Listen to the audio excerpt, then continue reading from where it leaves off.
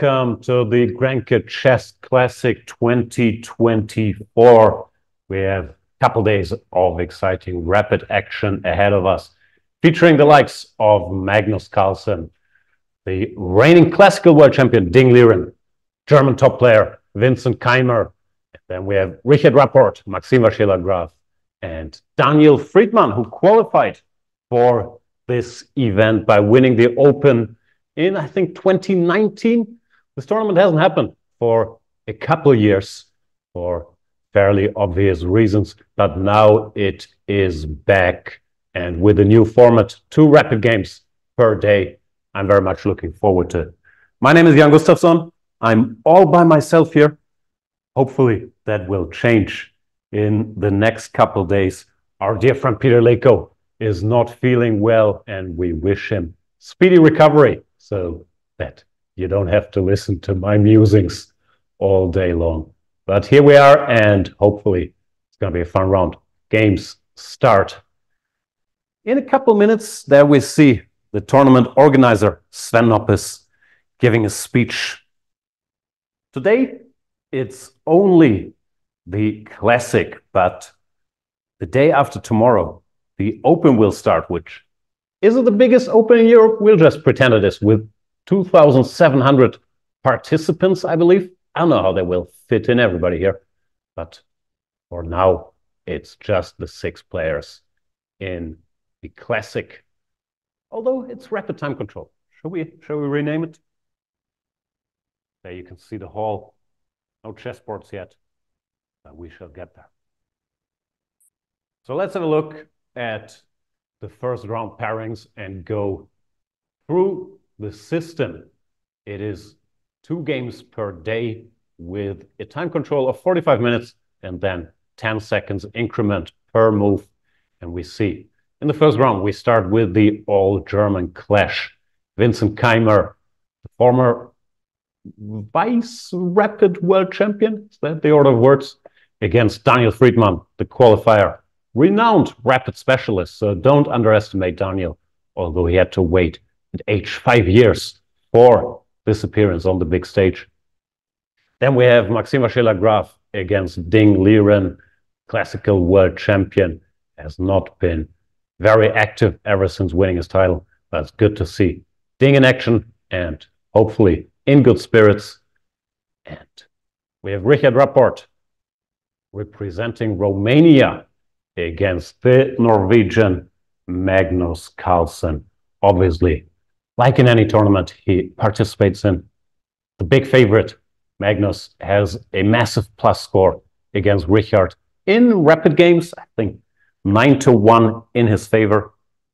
But with the black pieces, he hasn't played a game with the regular starting position for a while, or at least I haven't seen one.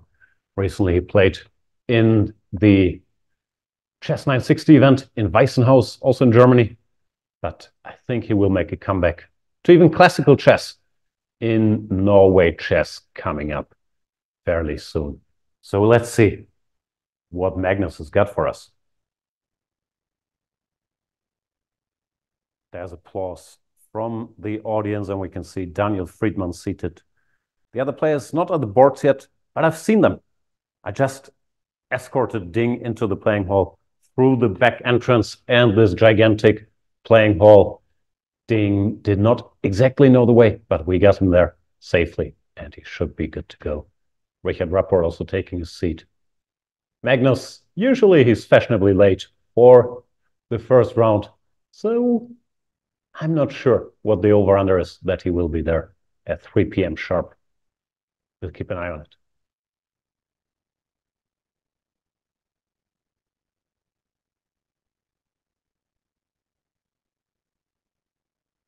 I should also mention the tournament format is all play all, so that's what 10 rounds. Everybody plays each other twice, and then double round robin is the expert term. And then we have matches for first, third, and fifth place on the last day, meaning after 10 rounds, the top seed plays against number two, three versus four, five versus six for all the glory. They will play two game matches, but for now, everybody plays everybody in 10 rounds. Time control, you guys are probably used to 45 minutes plus 10 seconds per move increment, fairly standard nowadays. But of course, it's a bit of a novel format to have two games per day. I believe there's going to be 15 minute break between the rounds. So bunch of action. The player have to be players have to be ready for two encounters. I don't think they'll have much time to prepare between the rounds. And I don't know what the negotiations behind the scenes were, but I would imagine Magnus Carlsen recently hasn't sounded too thrilled about playing regular classical chess with the grind of preparing for one long game per day, while he's been a fan of this format with two rapid games per day. I think back in the day he even proposed it for the World Championship match. So Magnus gets his wish here. Let's see if he manages to dominate as we're so accustomed in this format as well. There's Vincent Keymer, the German number one, and the, as I mentioned, rapid vice world champion in, when was it? 2022. Still very young. I don't know how old Vincent is nowadays. 19? I think he's 19 but already very established at the world top. Looking forward to his game against Daniel Fridman. Looks thrilled by the speech. Never seen so much enthusiasm while applauding. Ding made it to the board. There he is, the classical world champion, after defeating Jan Nepomniachtchi in a nerve-wracking match for the world title, as we all know, Magnus Carlsen decided not to defend his title. So the match was played between Ding and Nepomniachtchi. Ding won a thriller, but hasn't been very active. Recently, I am not fully sure about what's been going on. There's been a lot of talk about health problems and so on and so forth, but it's good to see Ding back at the board didn't play well in this Chess 960 event, which he played earlier this year. But I think we're due for a Ding comeback because he is a tremendous player and very curious to see how he does here. Grabbing some water. Maxime should also be at the board, but we cannot see him. Maxime Vachier-Lagrave, the Frenchman I was going to say French number one, but I think technically Alireza is French number one in classical chess. I would guess Maxime is in rapid. I think he's the third highest rapid player in the world after Magnus and Ding. Not sure if that's actually true. Don't check. But he's certainly world class at lower time formats. Rightly from Austria after winning the Austrian team championship with Linz. Now he's facing.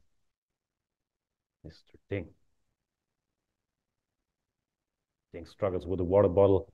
Does look like a tricky bottle. Let's see. Oh, there it goes.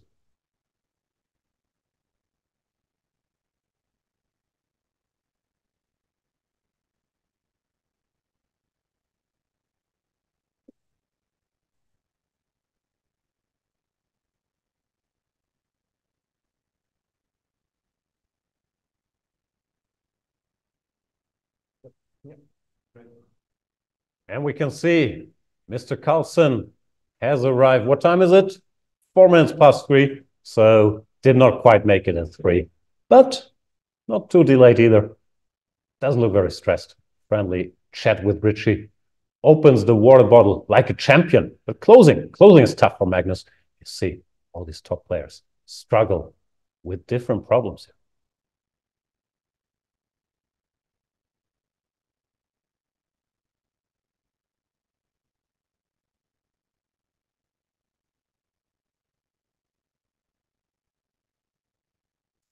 Skeptical about the arrangement of pieces. Been studying chess 960 these days, so I'm not sure he's familiar with his starting position. Let's hope for the best.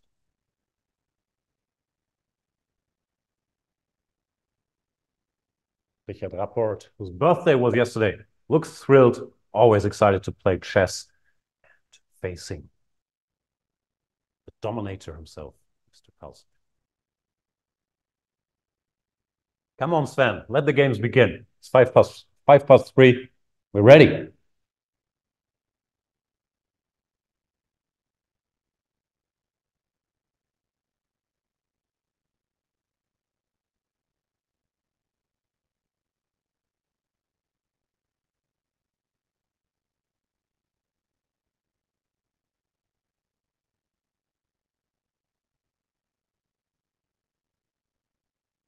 Magnus does.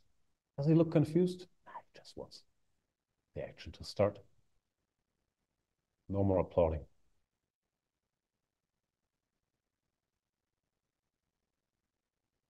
Rapport with the white pieces.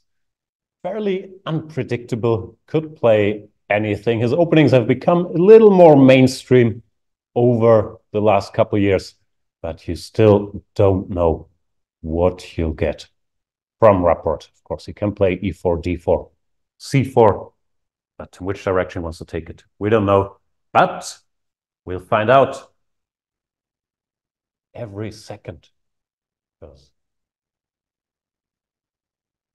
clocks are running and we're off. Here comes the e pawn, pawn to e4. Let's see what Carlsen wants to do. He's in a solid mood. We'll play e5 and let's say the Berlin defense, but no, it's the Caro-Kann been told it's been renamed the Karate Kid opening, but I'm not sure that's mainstream yet. Pawn to c6, solid choice, but also looking for a fight, a bit of imbalance. White will most likely put his pawn into the center. White goes d5. And then, if his pawn gets captured, can recapture with his pawn reinforcing the center. Well, I'm slowly learning how to draw arrows. Rapport does play d4. And pawn to d5 on the board. Pawn to e5, the main move, or I guess still the main move at the highest levels. White is just grabbing space and saying, this pawn will curb your development. Bishop to f5, the bishop gets out, and pawn to h4 setting up a bit of a trap, but I have a feeling Magnus not going to fall for it. You should not play e6 here, because then after g4, bishop g6, h5. This bishop will get trapped in the middle of the board, bishop to e4 and pawn to f3. But most likely, the world champion will see through that. The most common move played here is pawn to h5. stopping white from getting g4 in. But there are alternatives. Pawn to h6 is a legal move. I used to play pawn to c5 here. It's very bad, but used to carry some surprise. However, these top players, they usually play h5, acknowledging the strength of space, not allowing white to grab any, any further here on the king side. Carlsen deep thought, seems surprised by Rapport's opening choice. No, he's obviously not out for weighing his options. So we have three games going at the same time. I think it should be possible with this time control, 45 plus 10, to cover all three of them.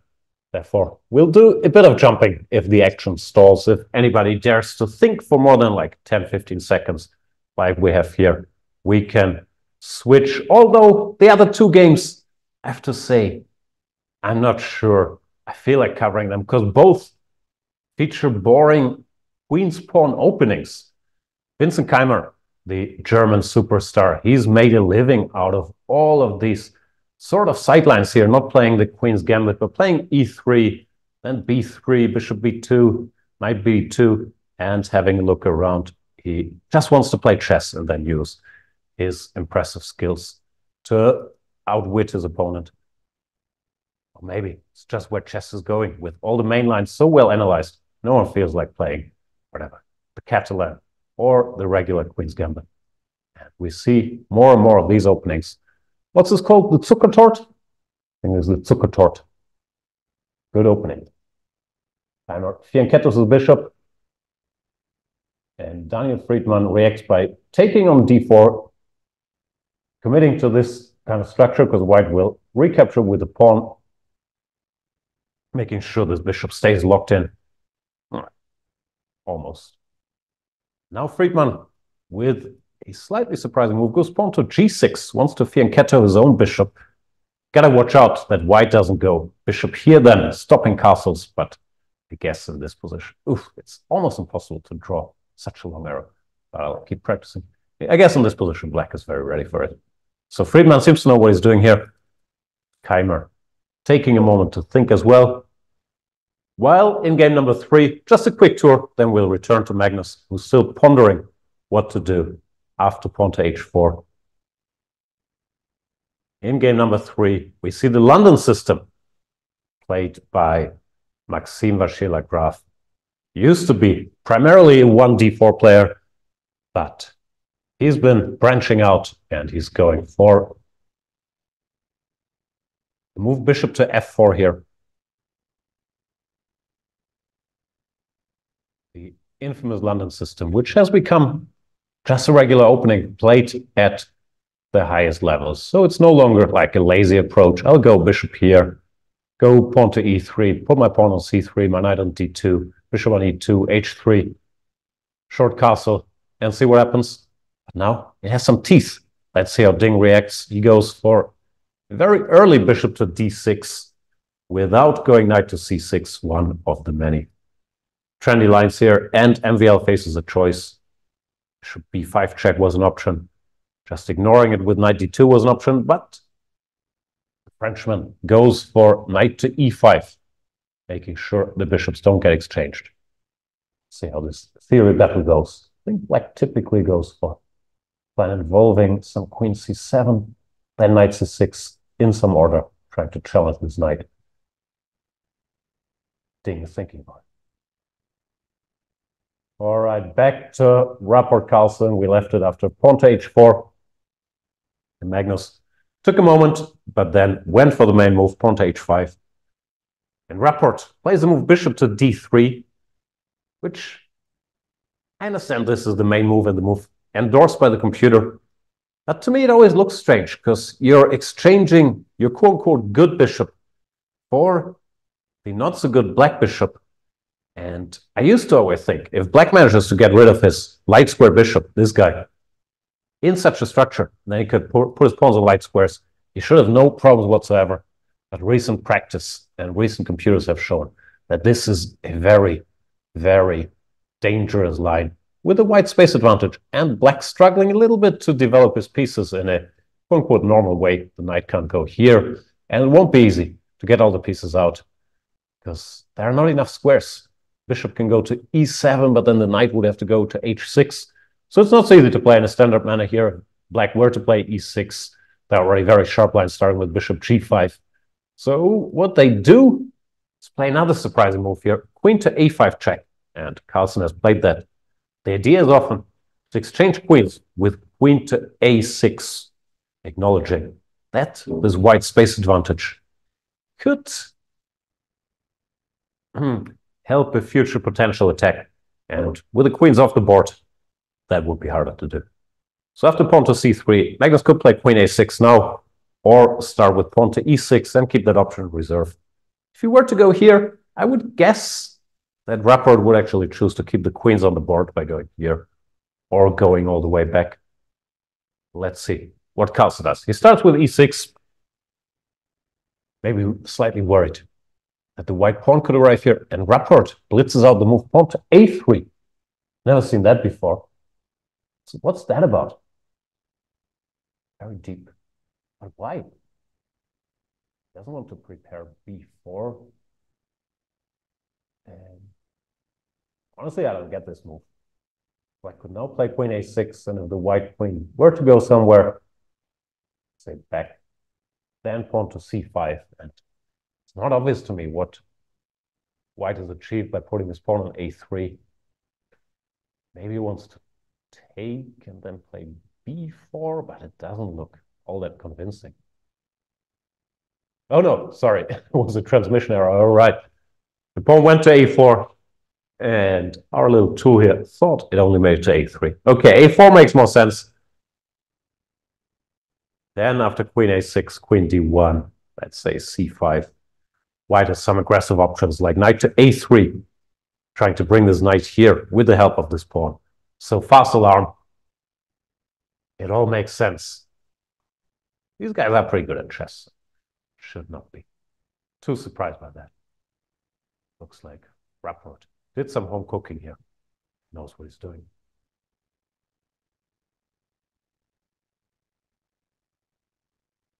Magnus in deep thought. Guess he's choosing between queen here and maybe the immediate pawn to c5. The problem with pawn to c5 is white could take and the bishop cannot recapture. Because if it did, there would be this double attack, winning a piece. So black would have to take with the queen, which I guess is not a disaster, but still black is struggling a little bit with bringing his pieces into play. On the plus side, if he manages to do so, he'll have a very healthy structure.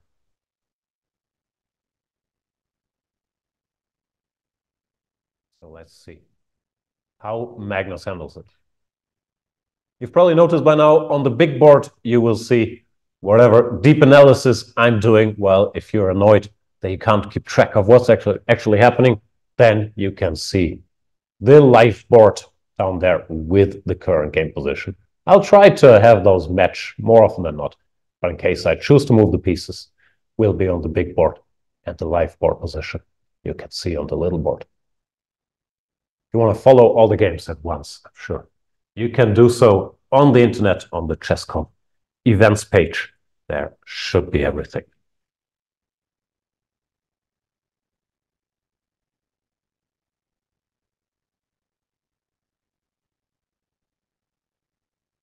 Magnus still thinking.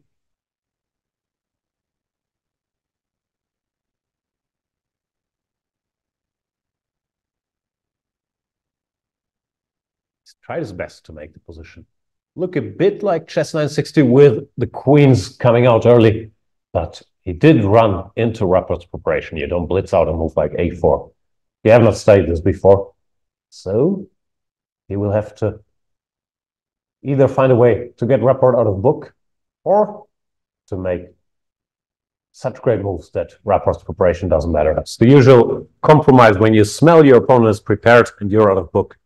Do you want to make a subpar move so your opponent has to be thinking as well, but giving up some equity? Um, or you just want to try to make the best moves, which I guess is what Magnus is doing here.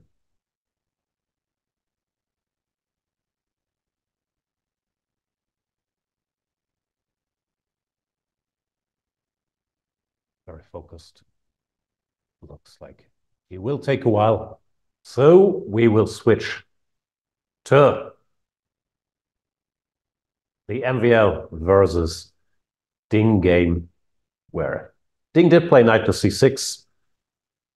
Not really threatening to take here just yet. If he were to take with the knight, he would run into the pawn fork. And taking with the bishop is usually a bit of a concession.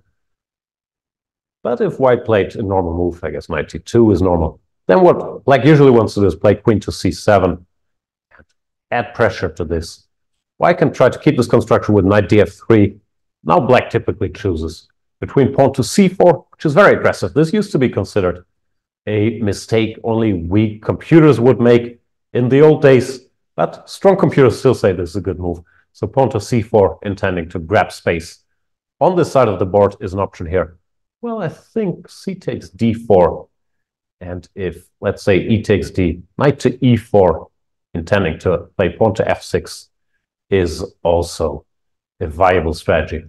So the good old London system, it's been corrupted by engines. We now know theory even within the London. Like Maxime is taking a moment here, weighing his options. I think knight d2 is by far the best or the most common move. Bishop b5 looks like it makes some sense, but after queen c7 or even castles, I'm not sure how much this achieves. I think black can castle here. If white were to get greedy, take, take, take, then after rook b8, he will not be too happy about his extra pawn. This guy being under attack. And black also threatening to take here. Bring the queen. White should not be greedy here.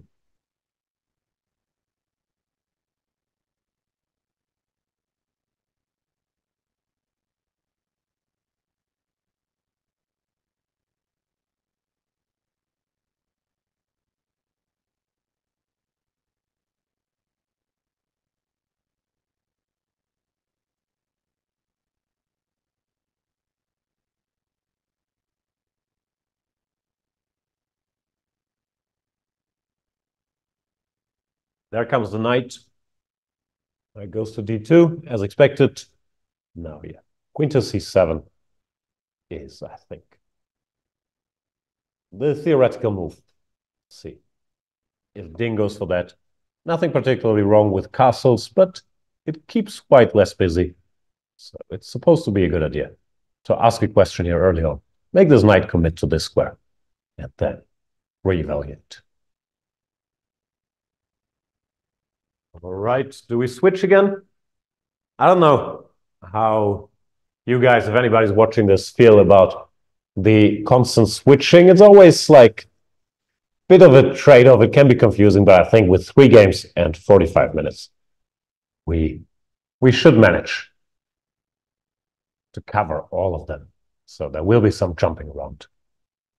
Hope it won't be too disturbing. Magnus after thinking for a bit after pawn to a4, has played pawn to c5. And it did get captured as expected because black is not in time to take with the bishop, so Carlsen had to take with the queen. Rapport develops the knight, knight to f3, and Carlsen retreats his queen, goes to c7. Queen was a bit exposed there, and he wants to play knight c6 without hitting, being hit by bishop e3. Rapport plays knight a3, hinting at a jump, trying to bother this knight. And decision here for Carlsen. If he wants to just chop it off. Or if he wants to go, let's say, pawn to a6, stop the knight from jumping to b5. I'd be mildly tempted to just take, because it also solves the problem of where to develop this bishop, although it does give up bishop, but to me, this looks logical enough. Takes, takes, and knight to c6. When this knight can come here and black gets all his pieces into play, then it won't, it won't be so easy still for him to commit his king. Short castle always a bit risky with the pawn on h5. White might get some attacking chances, even with the potential knight g5 later, or with the bishop to g5 on these squares. But it doesn't look like there's anything drastic happening now. So I'm very curious how Magnus evaluates this, if he feels it's time to get rid of the bishop, or if he thinks, keep it, play some move like a6, let's say castles, knight to c6. White will probably cover this pawn, rook to e1. And now once again, black would face the decision. What to do with this bishop? It shouldn't come here because it will get hit by pawn to b4. So black could leave it at home and first try to bring the knight. Or he could still take. But it's always tricky in these caro compositions. How to get the pieces out. While Rapport potentially could even try to keep asking questions by pushing this pawn. Rapport hardly spent any time. Well, Magnus, in deep thought. Under some mild pressure here, the world champion. Well, the he's rapid world champion, so technically it's correct to say world champion, I guess. But we're so used to Magnus also being the classical world champion that sometimes it slips out. But of course, Ding Liren is a classical world champion. Well, Carlsen is the rapid and the blitz world champion.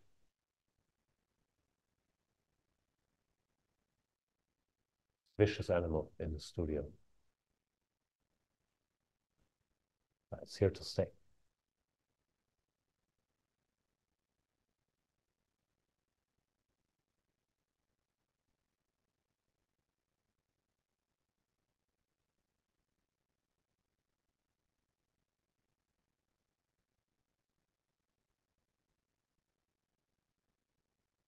Magnus weighing his options. There we see him.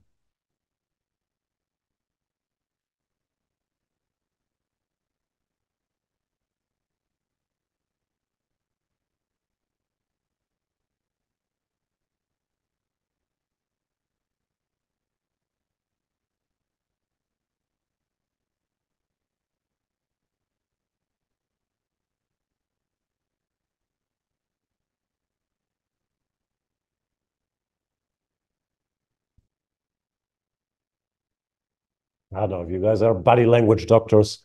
Carlsen hiding his face with his hand, which is a fairly typical chess thinking position. While Rapport has his arms crossed. I was taught in body language school that that's a defensive posture. I have my arms crossed, sorry. His position does not look like he's on the on the defense. And Carlsen does take keeping things simple and getting rid of the bishop. But decision that took him quite some time. Now at least his next moves will be easy. Knight goes to c6. The other knight goes to e7. I don't think that knight c6 attacks this pawn just yet. If white castles, knight takes e5 looks excessively greedy because after takes, queen takes, queen b5 check.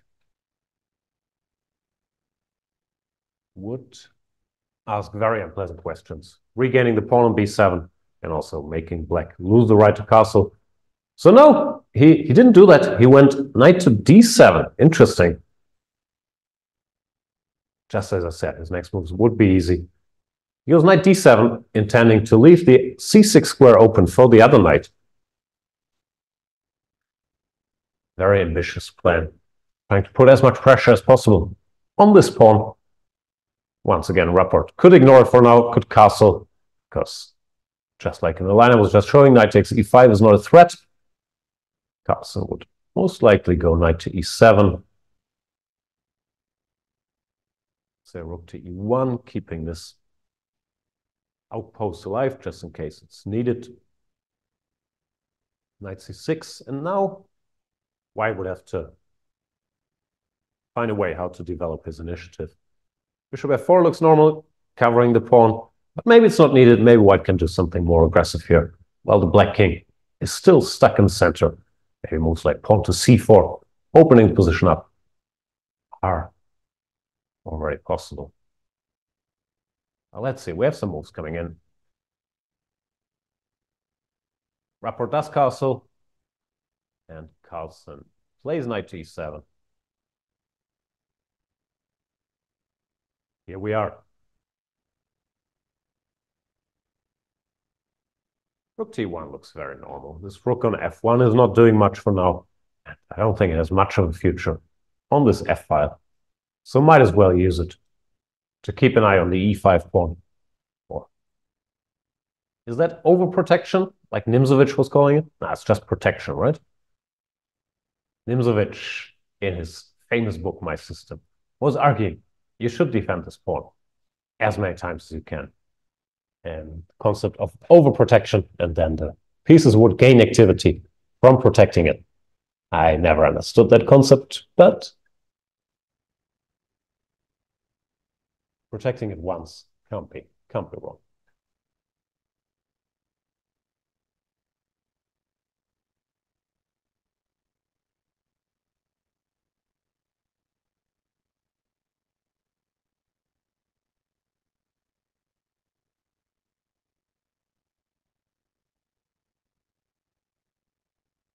What's Rapport playing with?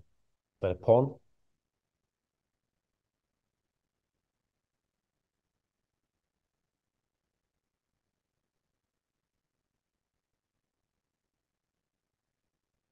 Looks like it. Yeah. Computer says what is better here? Like, hmm. Because of, I guess because of the uncertain future for the Black King. Black's position is very sound strategically. So White will have to find a way to open lines or embarrass this guy to use that advantage. But computer is happy about the white chances in this position indicating, yeah, I'm not sure where it says black went wrong. I think wanted queen a6 directly instead of e6. Hmm. And also not a big fan of the move knight to d7. In the meantime, rook to e1 is on the board. Let's see what Carlsen does. This looks logical to me. Maybe he has other other plans for this knight, which could also go here, or even here potentially. However, if he wants to go that way, not clear why for the other knight. On d7, not on c6.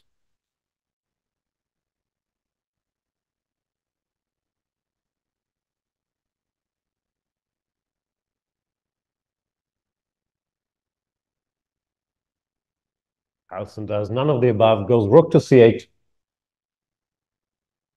saying, I will never castle queenside, but keeping an eye on the c4 square.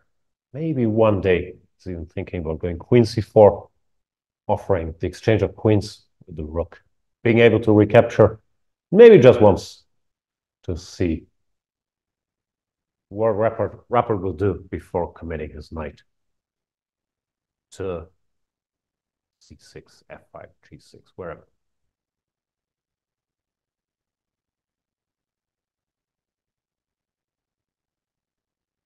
All right, looks like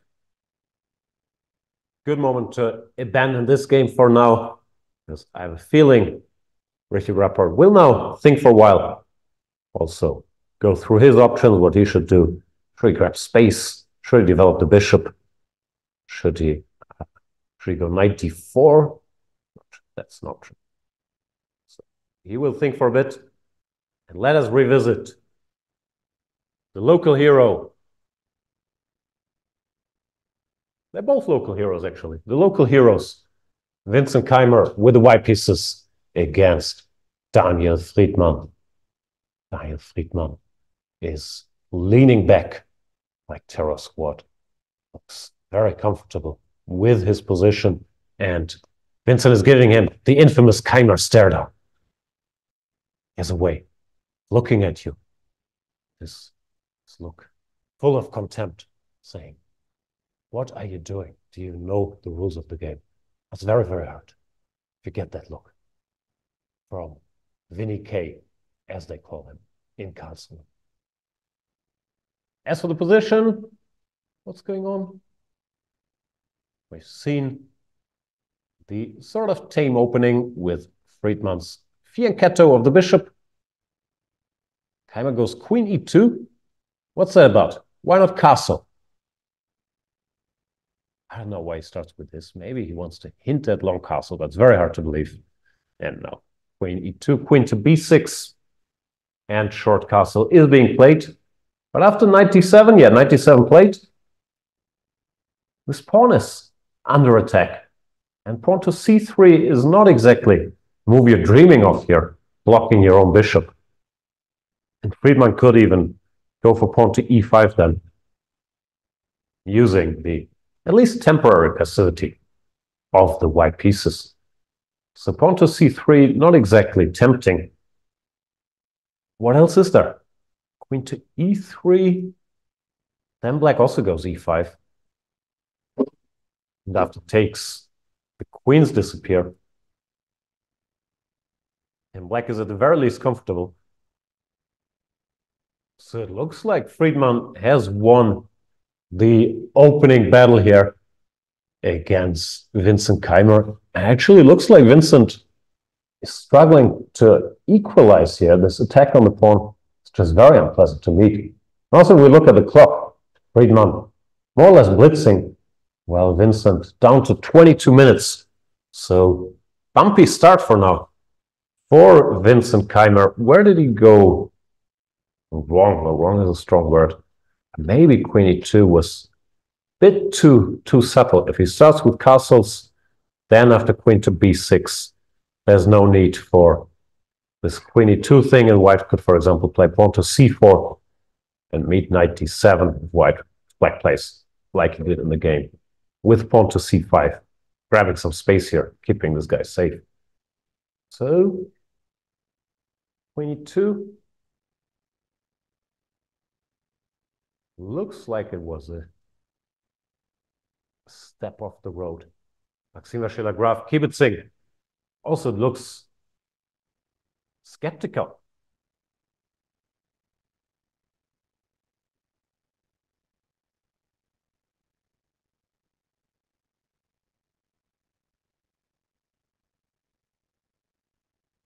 Yeah, tough decision for Vincent here.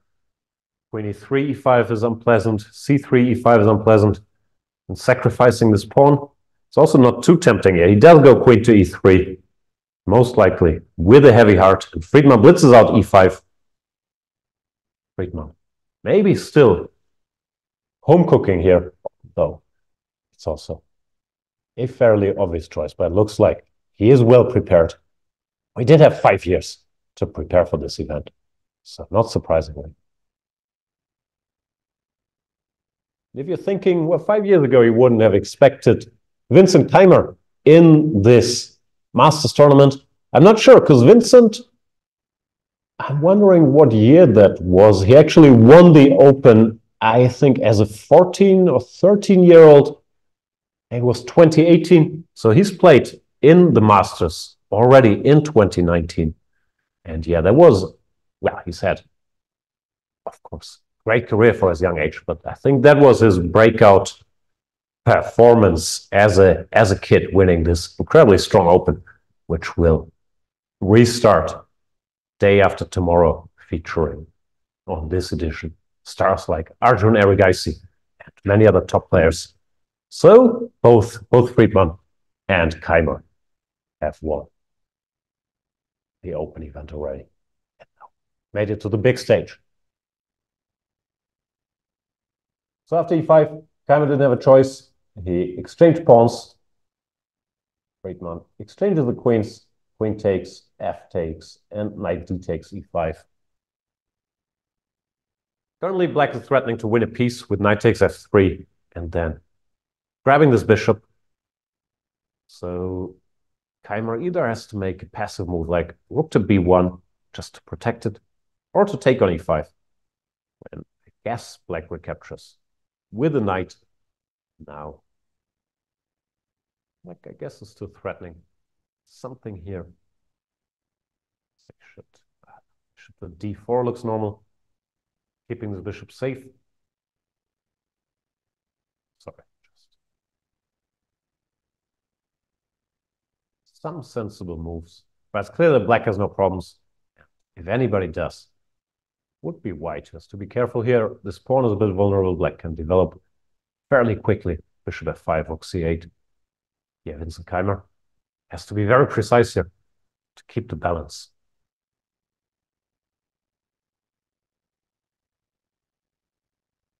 Well done. It's more than relaxed. I wasn't taught in body language school what this hand position means, ah, and he's changing it. So we'll never find out. Does look comfortable.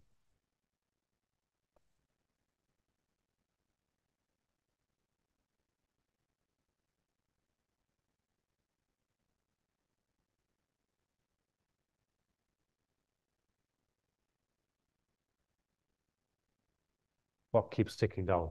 For Keymer, it's interesting with this time control, 45 minutes plus 10 seconds. It's nothing that players will be overly used to playing. Of course, they're all used to classical chess, and they're also all used to um, faster rapid formats like 15 minutes plus 10 seconds, or 15 plus 3, or 10 plus 10, which are played on the internet on the Champions Chess Tour and all these other events. But 45 plus 10, sort of a strange hybrid where you can take time to think outside of the opening. But if you overdo it, you will be in time trouble very, very quickly as well. So I'm not sure what the approach is other than make good moves quickly, but I guess that goes for, for every time control.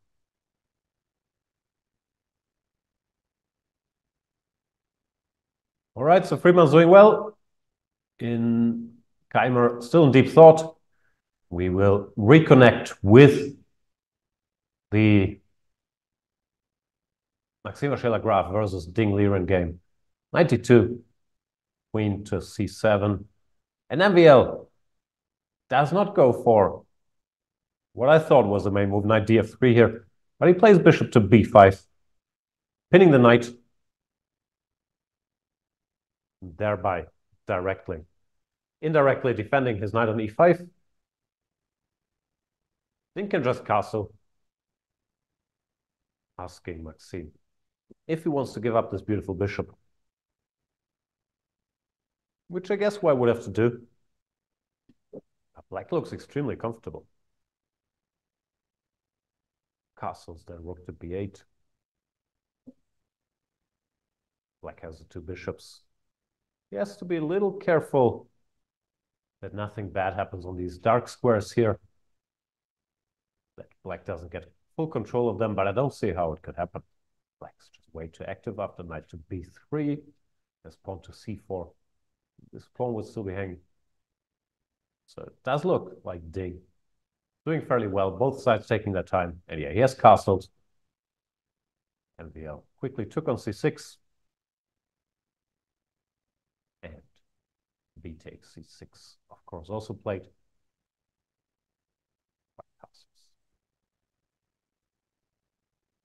That's the situation. Now, yeah, I was saying rook b8. Certainly other options here as well. Black could take on d4, try to solve his problems there directly. But I'd be a little worried if that doesn't help white after c takes d4 with the quick rook c1 to attack. This pawn on c6, bishop a6 hitting the rook also makes some sense.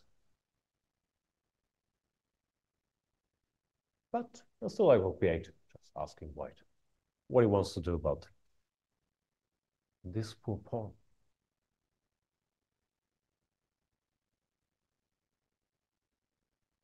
Bishop a6 is played. Developing with tempo. He will move the rook away. There it goes. And Ding goes for knight to e4. Interesting.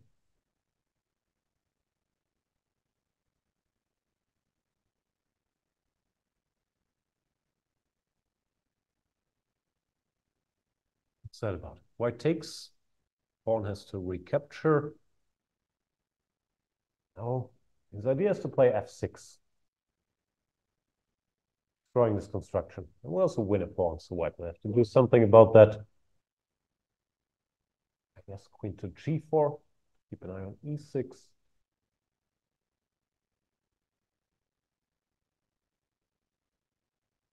Rook could cover it to renew this threat. Bishop h6 doesn't do much yet because black could parry this mating threat by going pawn to f6. The queen would keep an eye on it. So it looks all right for black. Why is not forced to take here? I guess. Maxime is trying to figure out what else he could do. But f6 is a bit of a threat, or knight takes d2, followed by f6.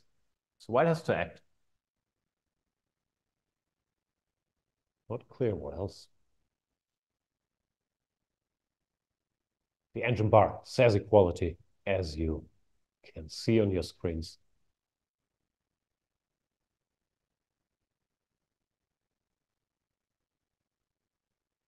Computer gives a move.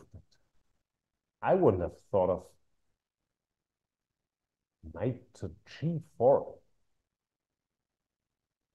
voluntarily without waiting for f6 breaking. This construction. Pawn takes, pawn takes, queen takes, black is a pawn up.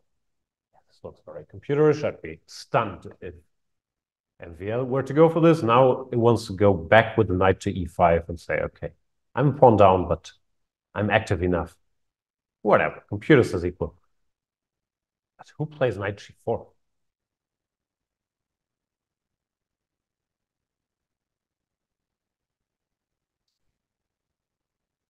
Taking does look so logical. But then, then the question is, what do you do after takes, takes, queen g4, rook here? No, too many arrows. f6 is a threat.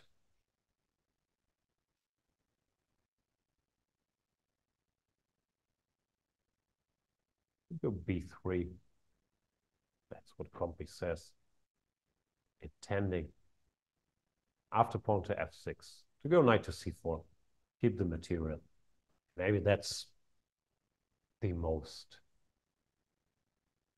human way to play, more or less maintaining equality as well. But things looking good, looking focused, playing reasonably quickly. Creative solution here with bishop a6 and knight to e4. Looks like it's white who has to be careful to maintain the balance.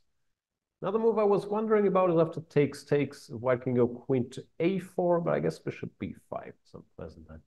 Yeah, keeping, keeping the pawn, attacking the queen. That's not it. So Maxime, take a moment to evaluate the situation. Maybe it's time to revisit Mr. Carlsen. Oh no, he, he played a move, so let's stay here for a second. Knight takes e4, d takes e. And now queen g4. Looks very tempting.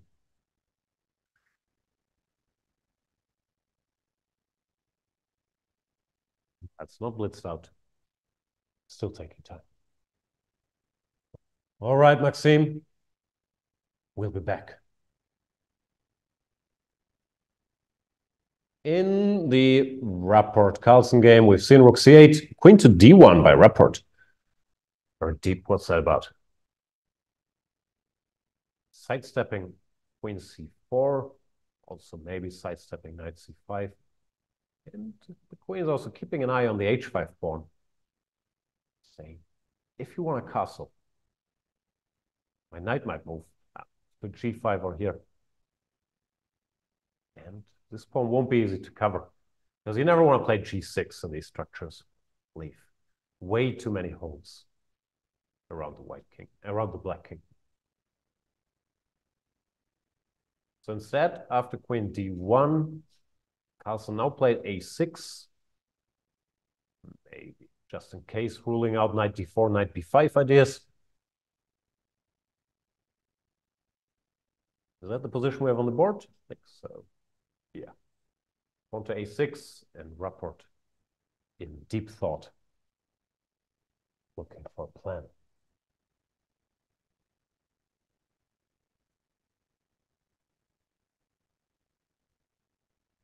A of stuff happening outside. Silence. kindergarten.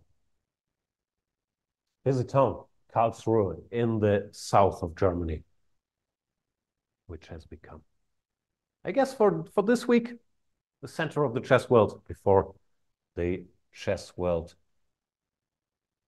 mm, moves to Toronto, where the candidates tournament will be played next month, looking for the next challenger for Mr. Ding Liren.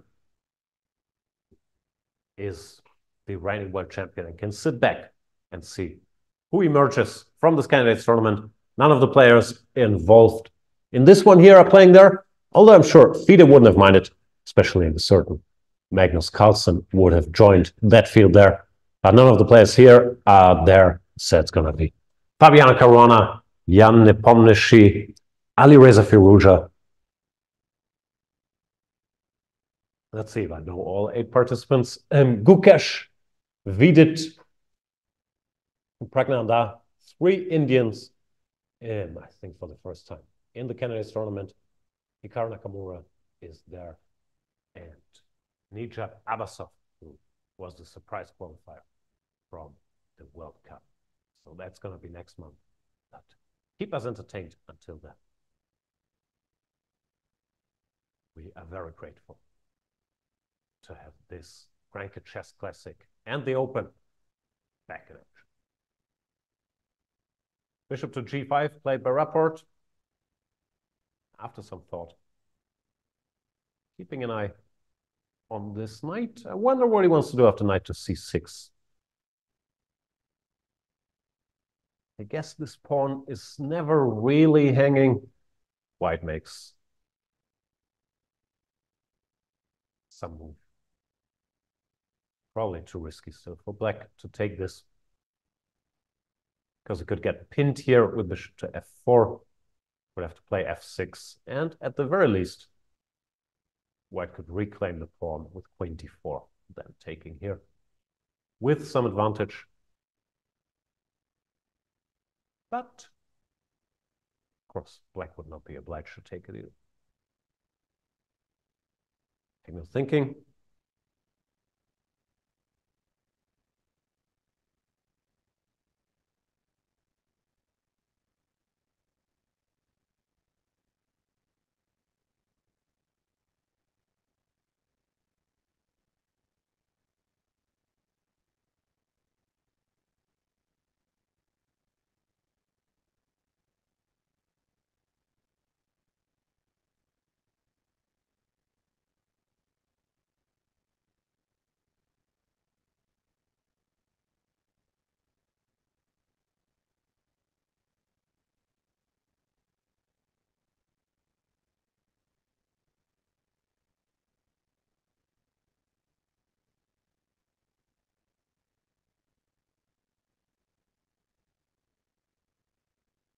There's nothing happening.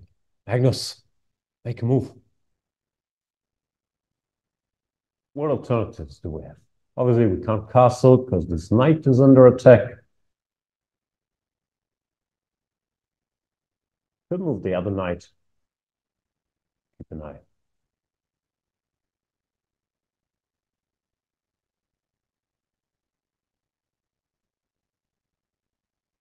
On this, the drawback is that it doesn't put much pressure on the e5 pawn anymore. As I mentioned, it was sort of tough to grab that pawn anyway, even was under attack. So maybe putting the knight here makes some sense. Then it could potentially jump to the e4 square.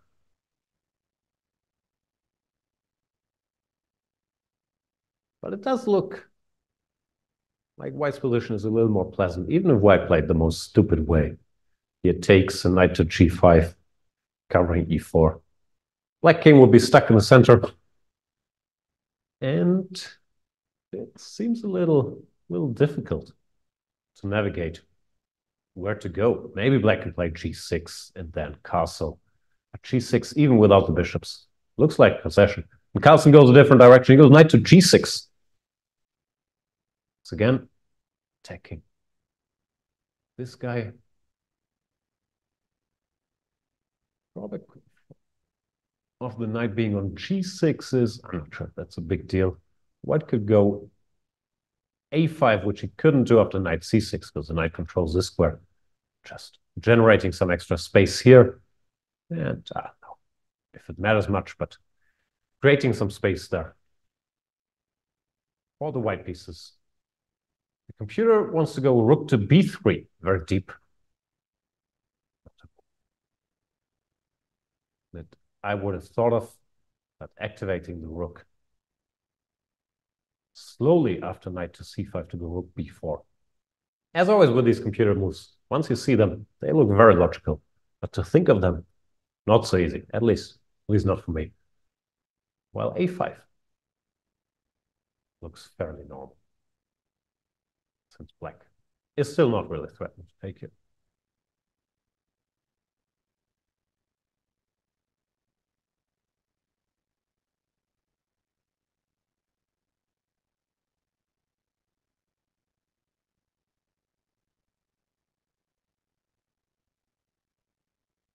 Okay, while Rapport's deciding, let's briefly check in with the Germans again. To watch my TH. Um, knight d takes e5. Rook b1 was played by Keymer. Ooh, yeah, was on the defensive end here, out of the opening against Zion Fridman. The bishop got traded, bishop to f5. Pawn to e4. Bit of a weakening, but white had to keep the pawn and trying to gain some time here. Takes, takes, bishop to e6. Daniel probably quite happy here. Very stable position. Not any serious weaknesses that meet the eye. Well, it's white who has to fight. Keep everything under control. Meanwhile, the black position more or less plays itself. Put the rooks on the open file. See if there are any targets here that can be captured later. Very unpleasant situation for Keymer.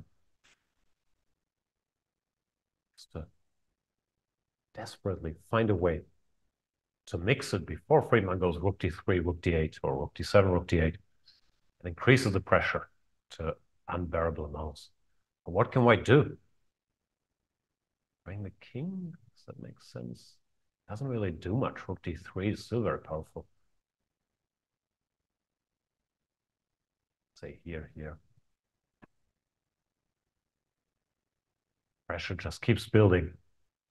Nothing hanging right now, but black has various ways to keep grabbing space. Well, for white, it's very unclear what he could do next. So Keymer plays rook to c3, covering the d3 square at least, and Fridman goes rook d7. Its position is so easy to play. Just getting ready to double up here. Continue to ask questions. Also, we look at the clock. Vincent with 8 minutes 23 seconds versus 38 minutes for Daniel Fridman, who just keeps leaning back, makes strong logical moves quickly. Watching his young compatriot trying to stay in the game. Vincent does not look happy.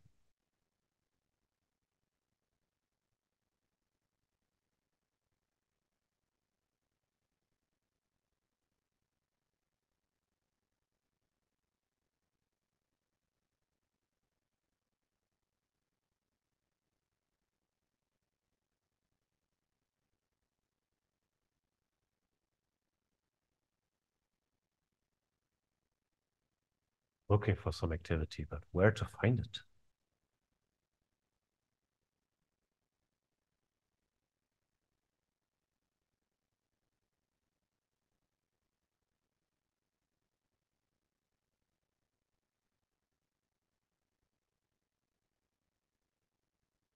Was that rook to b2?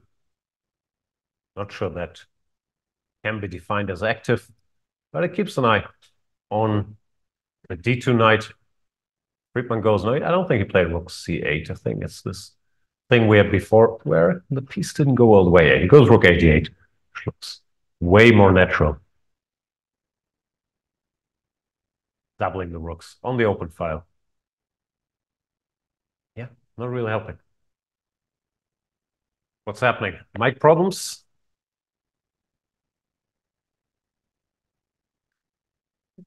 Thank you. King f2. Bringing the king. Now is the first time. Daniel made all the natural moves. He has to figure out what to do next. But space grabbing operations on either side look very tempting. Pawn to a5, trying to freeze these pawns here, or even pawn to g5, using tactics. This can't be taken. This would be under attack. Black would threaten pawn to g4. Also looks fairly unpleasant. Other than the tactical threat, it's also useful, I guess, for black to rearrange his pawns to be on dark squares. Typically, if you have a light square bishop, you want your pawns on dark squares. That's what they taught me in chess school. So, Vincent Keymer, trying to hang in here. Not a great start for the German number one, but we have a lot of action, or a lot of simplifications, I should say, in the Maxime Vachier-Lagrave versus Ding Liren game. So let's see how that happened. Knight takes e4, d takes e4, queen to g4, rook a8 as expected, threatening f6. Yeah, pawn to b3 was played, so this knight has a retreat square. On c4, case gets hit, does get hit. Pawn to f6, knight to c4. Bishop takes f4, exchanging the bishops. Queen takes, queen takes. Uh, that's how all the material vanished. Bishop takes c4, pawn takes. And all of a sudden, we have a rook endgame. c takes d4. Maxime taking a moment here, probably trying to figure out which pawn to capture. This one or this one.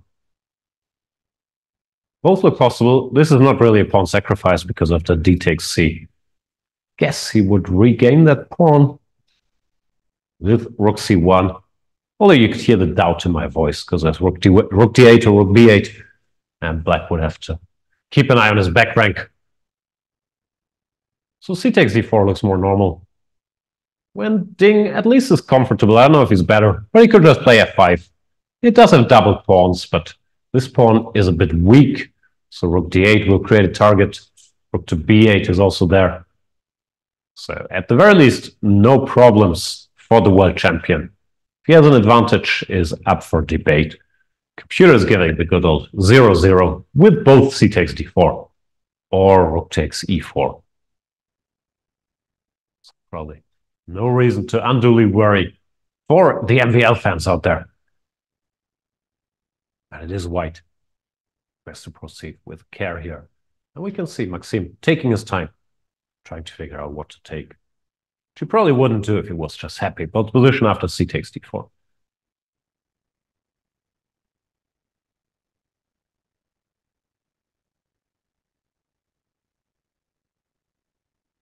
Is empty.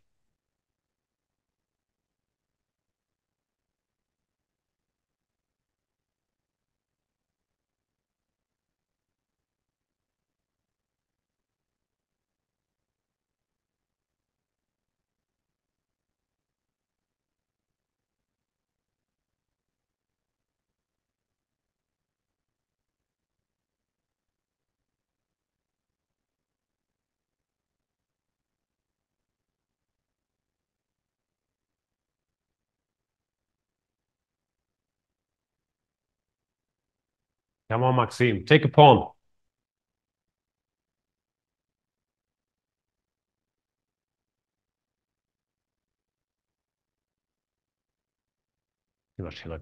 Former Blitz World Champion.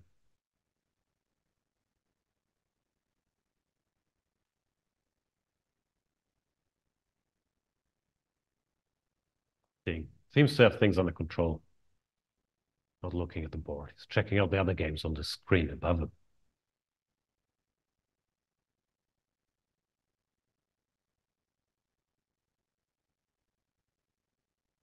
You can see from Maxime's shirt, it's an OSG Baden-Baden shirt, which is also sponsored by Grenke, as is this event. Maxime is part of the family here many times, German team champion with the OSG Baden-Baden.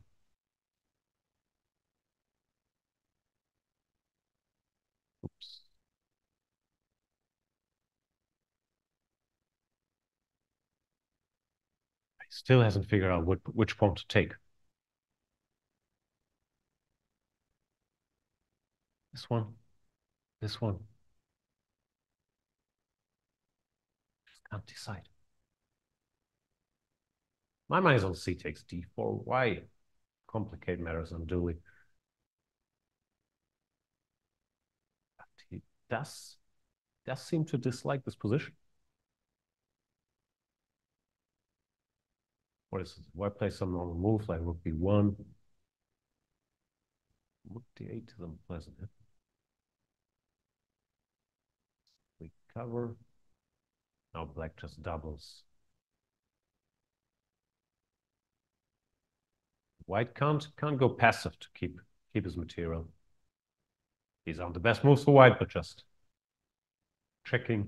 If he do if he stays like this, one day c5 could be an issue. Right now there's still d5. But hard to move anything. It's probably Maxime is trying to avoid a scenario like that. He's trying to figure out if he can solve his problems directly by taking here. Then going rook d1, rook c1. Let's say rook here. No. You take this pawn, but he has to be careful. Leaving this guy alive. Compi says this is fine. It's equal. Maybe he's just trying to calculate one of these lines until the end to try to avoid drifting into a slightly passive situation after c takes d and pawn to f5.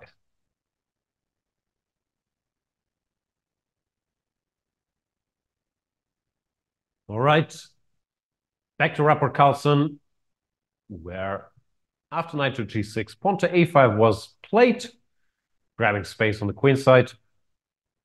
Carlsen decides to castle, which is more brazen than it looks like because it does leave this pawn unprotected. White had already announced that he might be interested in taking that pawn one day by putting his queen on d1. Rapport plays rook to a4. What's that about? Let's put the rook here.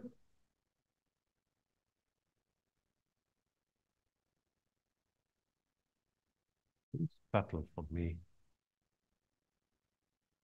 Question is, can black take now, or is this still asking for trouble? Takes, takes. Either bishop f4, pinning the knight, or queen takes h5, regaining the pawn. Both look sort of pleasant for white. I'm not sure how bad this is. But with this king, would prefer white. Magnus, thinking about it? Before we get back to this, just very briefly, Maxime has decided after c takes d to go rook takes e4 indeed. d takes c3 and rook to e3, chasing down pawn with his other rook, making sure this guy keeps guarding the back rank. Pawn to c2, rook to c3. And yeah, probably that was a good decision. Just eliminating all potential structural weaknesses with the pawn on d4. Exchanging everything. Oh, I guess game's a big favorite to end peacefully. Something like e5 takes, takes, takes here, rook here, let's say. Checkmate, but they will probably spot that after king f4. This position looks very, very equal. So I guess we're headed towards a draw there, more likely than not. Means we can focus on the other games mainly.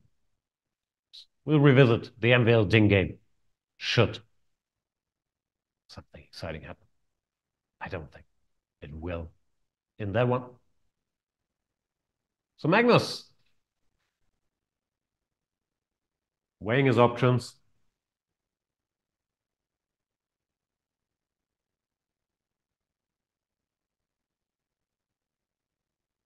He's questioning his opening choices, thinking, I could have a black pawn here on e5. Had the chance of move number one. But oh, there's his white pawn. He has to figure out how bad his position is if he takes it, or if he has any suitable alternatives. Knight c5 also looks logical. Hitting the rook. Yes. I was going to say, I guess rook b4, but then I started wondering if black can actually be greedy, take this pawn. Computer says no. Computer says this is all great for white. That's not that obvious to me. Why? Compi says, even pawn to g4. Whoa. So aggressive. And the white attack is very strong here. Maybe that was an idea. Of rook to a4 as well to just prepare. Pawn to g4. Really going after the black king. Carlsen ever so slightly shaking his head. Doesn't look thrilled. And maybe he's also not thrilled about these types of positions if he takes the pawn not just because of queen takes h5, but after bishop to f4, pawn to f6, let's say. By let's say, I mean exactly queen d4. He's sort of forced to defend as well with very few winning chances. I was wondering why not take the pawn now? But then black is in time to unpin with queen to d7 sneaky little move, hitting the rook on b4 and making sure the knight from e5 is allowed to move again after rook goes wherever. Say here. Now the knight can move and black at least is sort of active with his extra pawn in the center. Uh, yeah, Magnus Carlsen does not look overly happy about what he's done here so far. And slowly, slowly, slowly, time is also running out. Well, running out is strong, but down to 11 minutes. So pace will pick up.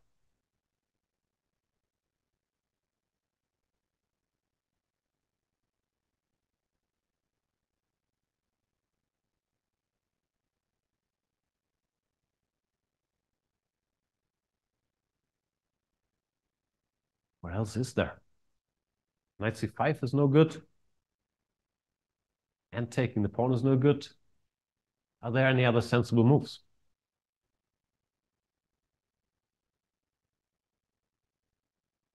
We could go knight c5, the rook goes somewhere, b4 or d4, I don't know. And then put a knight on e4 maybe.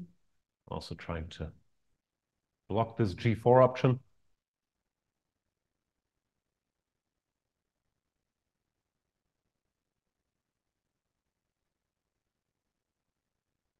Probably not in love with it, says white just goes bishop e3. Once again, gives white a sizable plus.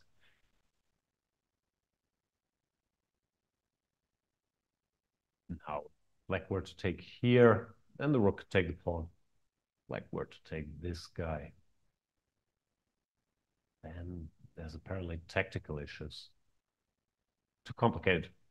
For me, bishop to b6 and if knight takes f3, then g takes f3, well, the queen goes away. White can take and use the pin. Okay, we're a bit far from the position on the board, but that's probably the kind of lines that Magnus is calculating. And he's reluctant to make a move, shaking his head a bit. Probably does not like the outcome of these lines and is looking for an alternative. What is there? It's not so much that white threatens anything directly. I mean, g4 could be a threat, but also that black is sort of out of logical moves if he decides not to take here. If he makes a move like rook to e8, white could even take sort of a timeout, go rook to b4, making sure that whenever this pawn gets taken, b7 is hanging. So it's not like that improves his position greatly. Therefore, Carlsen some trouble here. Has been dominating the matchup against Rapport in rapid and blitz. I recall that game from, I think it was last year's, well, Blitz Championship, some crazy French where Rapport was completely winning and then crumbled on the finish line. So Rapport has had good positions against Magnus, but has not had a great success rate with lower time controls. He beat him in classical ones, I think in a couple years back. In the rapid, what is it? 9-1 in Magnus's favor. However, could very well change in this game because Magnus Carlsen, the world number one, is under pressure.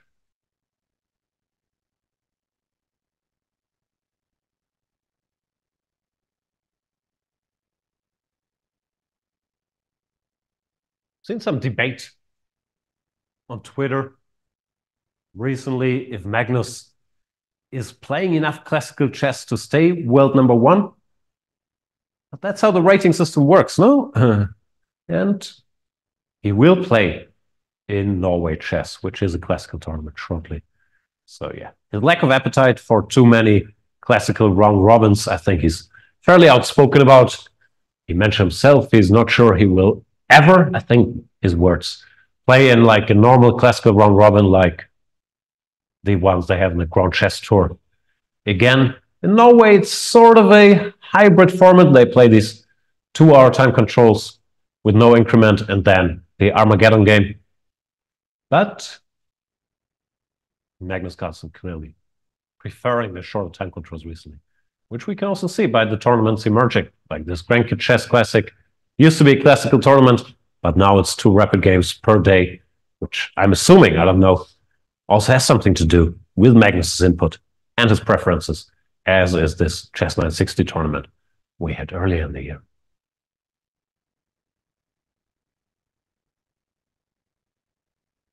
Carlsen, when rook c to e8, sign something's gone a little wrong. He has to move. This rook again. He doesn't look thrilled. Doesn't want to move this rook maybe to keep the option of pawn to f6 in the position. But if Rapport once again does this rook b4, it's a little rook shuffle here. What's white's next? What's black's next move?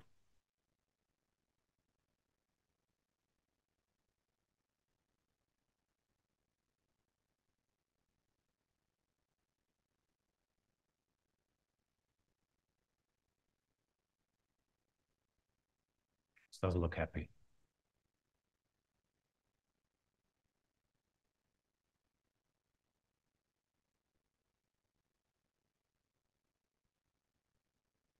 Meanwhile, the Keymer Fridman clash has simplified somewhat. Fridman in this position went for knight to d4. So the various pawn pushes I was fantasizing about, just exchanges. His knight keeps a bit of an edge, but now the white king on e3 is less bothered with fewer pieces on the board. And after rook c7, exchanging a pair of rooks. It looks like the worst is over for Vincent Keymer. Because also after pawn to f5. His tiny weakness, or Keymer's tiny weakness on e4 can be exchanged now for the black pawn on f5. So I guess this should be headed towards a draw too. Well, our first game is officially over, the Maxime Vachier-Lagrave Ding Liren encounter has ended peacefully no big surprise there. Very solid outing for Ding Liren. Did not have any problems whatsoever. Went for this operation with knight to e4, exchanging a bunch of pieces early on. And it was MVL who had to be precise to keep the game in the balance. But he managed to do so by taking his time here. Probably taking a good decision with this rook takes e4 instead of the standard c takes d. After which, maybe he could have been slightly worse. After rook takes e4, all material disappeared from the board fairly quickly. And yeah, this position. There's not much to play for. This level, both sides. Find a way to exchange the remaining pawns on the queen side and with three pawns against three. A move repetition and a draw is on the board. In the Keymer Fridman game, I think a draw is also the most likely. You still slightly prefer black, maybe with the bishop against the knight, but it does not look decisive. This time peacefully as well. But for now, let's concentrate on the most complicated position. Richard Rapport against Magnus Carlsen. Rook to d4 was played, no rook to b4. And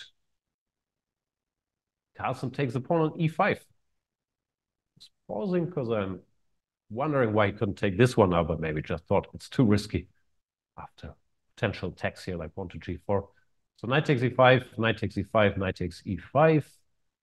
Once again, white has a choice, which we were talking about. Queen, queen takes h5 and bishop to f4 first, pinning. That's what Rapport will be thinking about.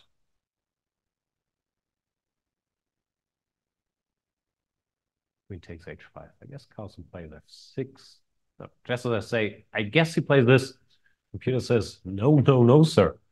This would be a big blunder. The reason is bishop takes f6 works. And of this happened, by the way. Play bishop f4, so I'll just show very briefly. Bishop takes f6, gf. Because if the rook were to take, this would be a hanging. gf and rook takes e5. f takes e. Rook g4. Why would win the queen? And then his remaining queen and the couple pawns would be crushing the black two rooks. So this didn't happen. Instead, Rapport started with bishop to f4, pinning the knight, pawn to f6, and queen takes h5. But this gives Carlsen a chance to play queen f7, no? Once again, unpinning with a little trick. And if queen takes, he can play knight takes, keeping his material. And looks like the worst is over. Yeah, queen f7 played. Couldn't wait for white to take on e5, grabbing the pawn. I think now he can maybe take a breath of relief. Doesn't look too bad. The white queen goes away. This knight can go to c6. While the endgame, the queens get exchanged. Queen takes, knight takes. Like threatening e5. White would have to lose the tempo. I'm going somewhere with this rook. Looks like black should be more or less all right. So I don't know if Rapport missed queen f7, or if he just thought this was the safest course of action. And he's very fine even after exchanging queens. Looks like he missed a bit of a chance here, starting with queen takes h5, based on this very cunning tactic, f6, bishop takes f6, which is also easier spotted if the computer shows you.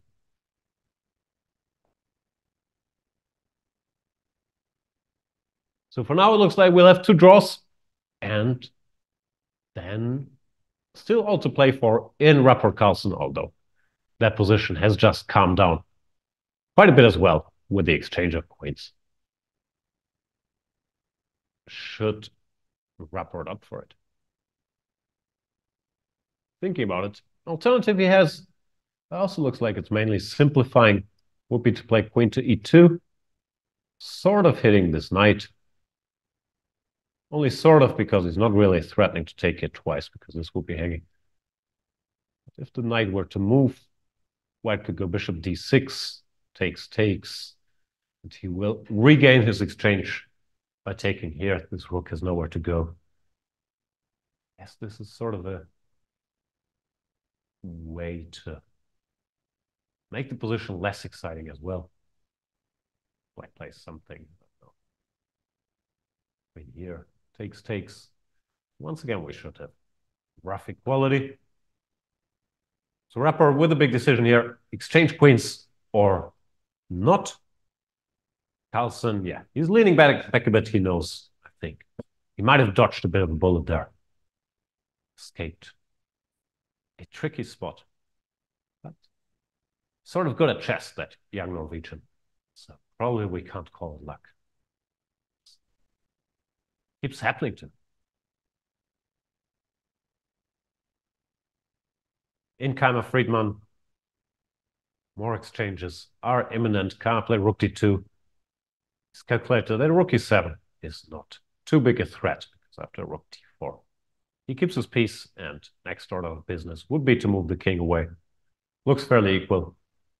Fridman could, of course, also exchange rooks. But no, he does go rook e7. Rook d4 will be played.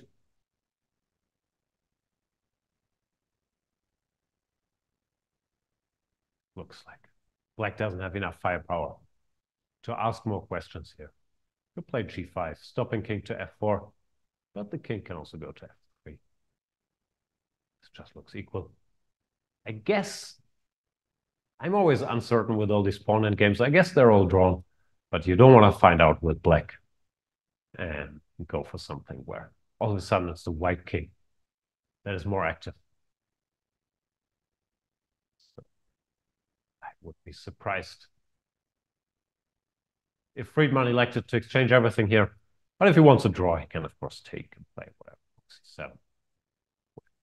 White does not have any winning chances with her rooks remaining on the board. But does look like he doesn't have enough to keep playing for an advantage.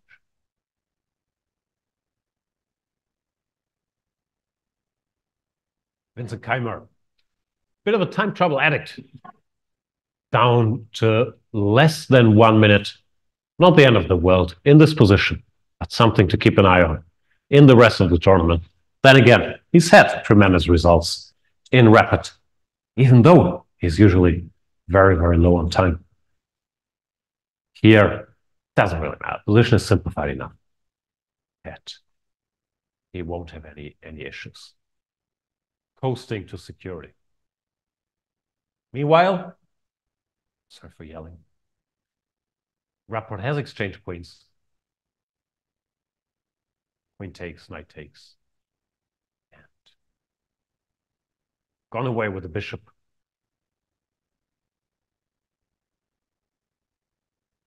I'm wondering a bit, is this the typical script?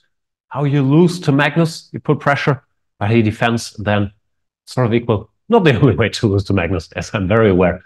Um, then he sli- slowly starts shuffling his pieces around. In the end game, asking questions. Rapport is not worse here, but it feels like this has gone Magnus's way over the last couple of moves. Oh, sorry. I thought that I saw the camera was staying with the Germans, but might as well stay here. And I'll let you know once the Keymer Fridman game ends peacefully. Be shocked if anything else happened there. However, just as I said it, I see Fridman decides not to exchange the bishop for the knight, keep some play. So let's see.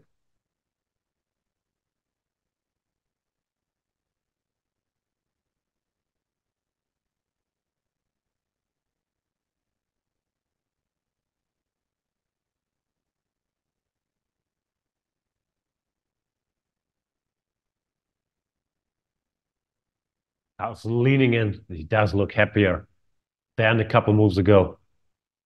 Found a white pawn to play with, studying the position to decide on a plan. Could try to improve his knight.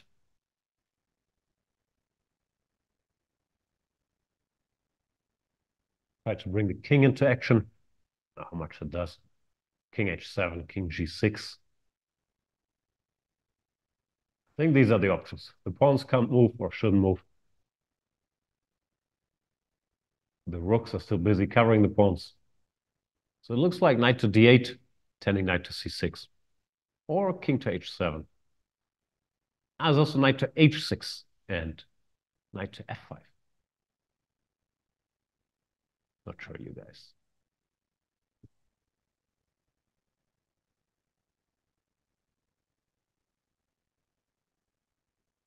The position there. But knight on f7, it's not misplaced, but it has to do something to help black's coordination. So here or here, or here and then here. Look like decent starts. Well, Comte actually favors king to h7.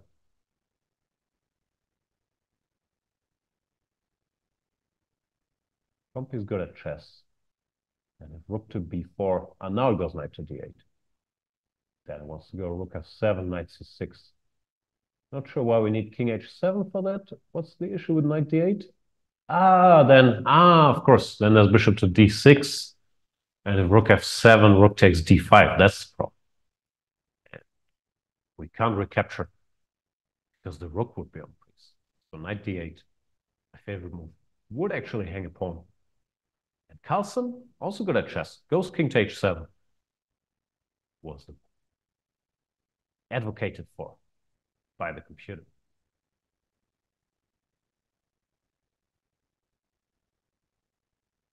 Yeah, still sort of empty, but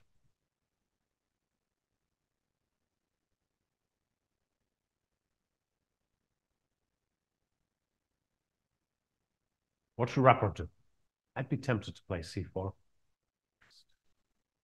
Change the structure. Drawback is then black can take it. Doesn't have to worry about the d5 pawn anymore. So he could go e5 to uh, keep this bishop at bay. Oh yeah, white. White shouldn't be worse here. Try to activate it again, exchange some pawns if needed. But it feels like, or maybe it's the Magnus factor, but it feels like Rapport should now go to making sure he doesn't end up in trouble here. The time for putting pressure seems to have passed. Could be wrong, and Rapport, of course, is a tremendous endgame player. But I think that's the best position Carlsen's in a long, long time.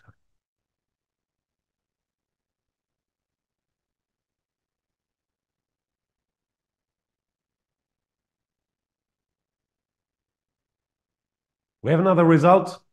The Keymer Fridman game has ended in a draw as well. Yeah, wasn't that much left to play for. And the players, as often in these situations, found a move repetition. King f2, rook f7, king e3, and rook back and forth. Another draw. I guess both sides can be sort of happy with the outcome. I'm sure Vincent had bigger plans, but with his position he got out of the opening, the draw was really the best he could hope for while Daniel Fridman, nominally the lowest rated player in this star-studded field. Starts with a sorry, black draw from the position of strength. Getting his feet wet. So that leaves us with just the Richard Rapport versus Magnus Carlsen game. Magnus has to provide the entertainment here in round one already. Pawn to g4 played by Rapport, who sees no reason to be chicken like me, trying to simplify and exchange things. Just grab space. Now good old knight to d8 is possible. The difference would be, maybe that's the point of king h7 as well. But now I can keep his rook here, square vacated by the king, and thus making sure that rook takes d5, e takes d5 is now impossible from white's perspective because his rook is covered, and the knight could end up on this nice square on c6. And yet, knight d8 was played indeed. Bishop to d6. The rook has to go. Here, here. I do not know. Maybe there's not a big difference. Maybe actually to h8. Just, you know. Case you ever want to do. Surprise. Sneak attack on the h4 pawn. But no, he goes rook g8.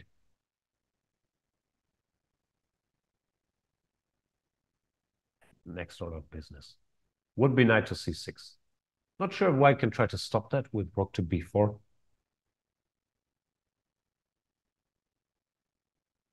Yeah, rook to b4 played. Knight c6 is still possible. Then white would take on b7. Not sure. What is this? Still equal? Yeah, knight c6 played.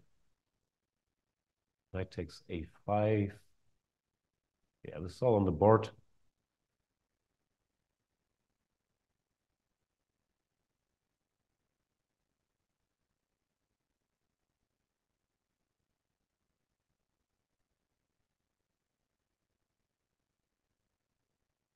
Should go somewhere.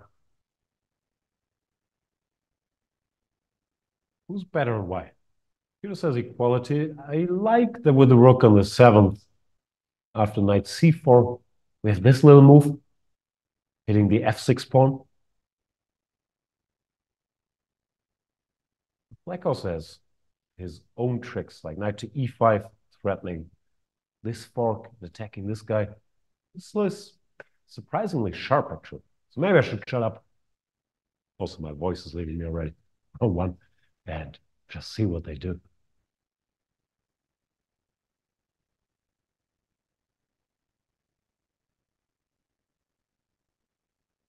Magnus seen a ghost?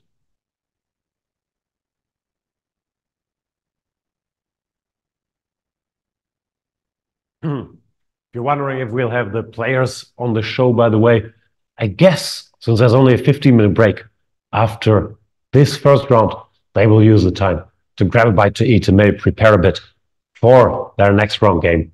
But after the second round, there are no more excuses. And we hope to have some of these chess stars joining us here, explaining their thoughts, their wishes, their evening plans. So, probably not right now, but after the next round. Get at least some of them. Studio is a long, long walk from the playing hall. By long, long, time. five minutes, but someone would have to show them the way. But hopefully we'll get. it. It's under the same roof. It's a big roof.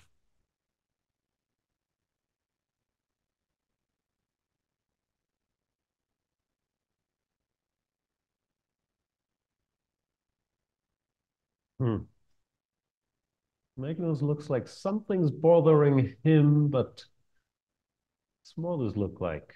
Ah, I'm annoyed I missed some detail, not this look. Oh, I'm in real big trouble. I think he knows. The worst is over.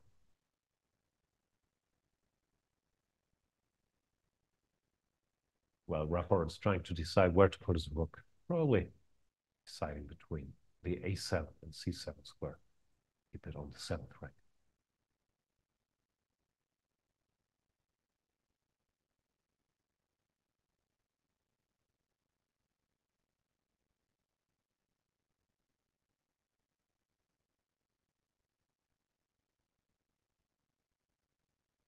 Carlsen's down to one minute, 39 seconds.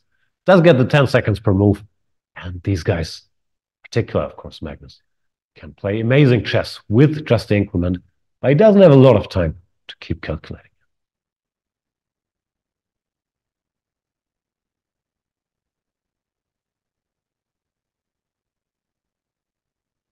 Rapport still has a little more than seven minutes, so he can afford.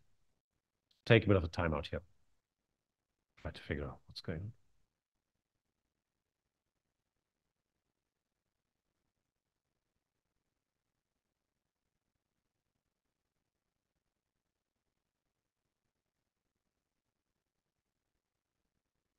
Richard Rapport became a bit of a rock star last year when he was helping Ding Liren during the World Championship match against Jan Nepomniachtchi.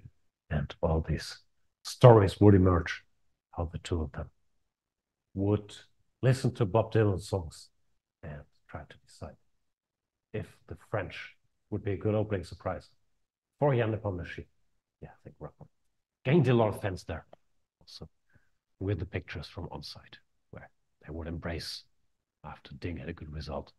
Ding did become the world champion, so Team Rapport Ding in action here again, although not on the same team.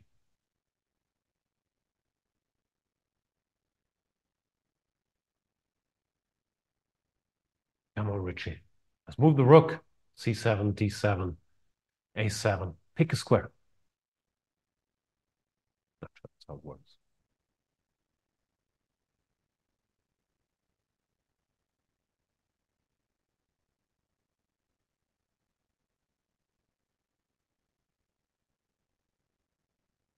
Yes, all the lines could be similar, actually. If we were to choose this square, and yeah, it does.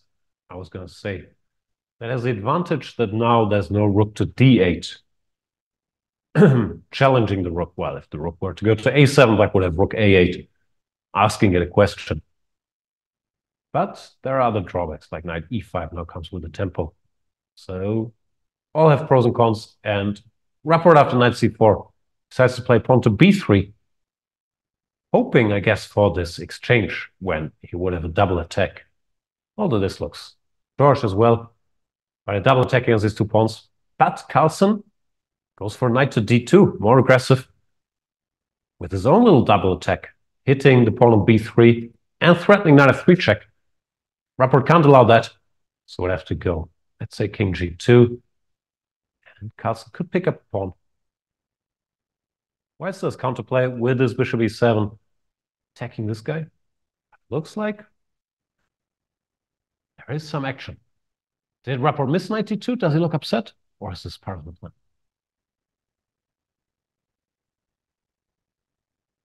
Calculating. Hard to say if he's upset.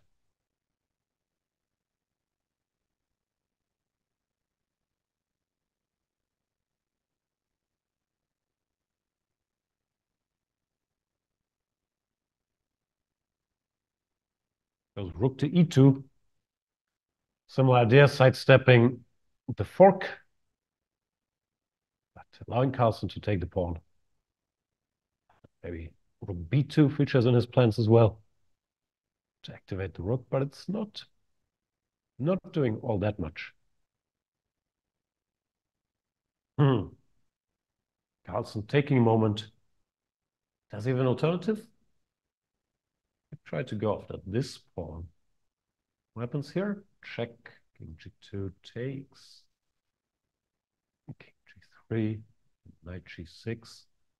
Takes a pawn, but white will become very active. For example, f4, where I threaten rook h2. Almost checkmate. Maybe that's a little risky. But food for thought for Magnus. Doesn't have a lot of time for thought. Down to 30 seconds see. He does go take pawn on b3. Correctly, not going after the h4 pawn. Back to Rapport. Plays bishop e7. Very logical as well. Threatening bishop takes f6 because of this pin. And also, maybe not threatening, but hinting at rook takes e6. Saying not threatening because then knight c5. Say here could be an issue, but I guess my example doesn't work because this position actually it's this very cute checkmate. But after another move, then king h8. That could work. That's why Carlsen goes king to h6. Now after rook takes e6, there is knight c5. Rapport, pawn down to find a way to keep the initiative going. Which one is it? G5 check. Just a quiet move. King G2. Pawn to F4.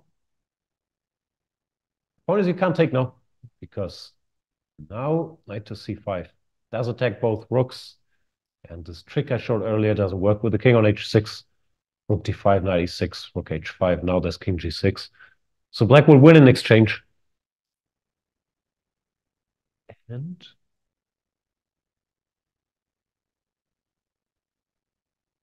Yeah. Magnus has found a way to ask questions. He's not better, according to Compi, but he's a pawn up, and Rapport has to solve problems. The way computer wants to play this is not exactly intuitive. Saying king h2, not the first move that comes to mind. First move that comes to mind is rook e6. That doesn't work. Then you start thinking about rook b2, I guess, hitting the knight. The knight. Yes, plenty of jumps available. Or black could even go rook b8. That e6 is no longer hanging. So this isn't over. Is Magnus going to work his magic here? Only has 19 seconds.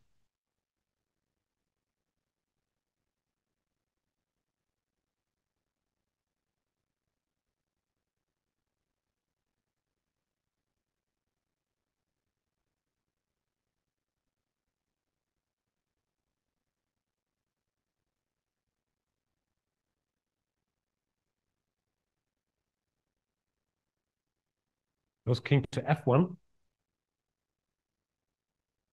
What's that about?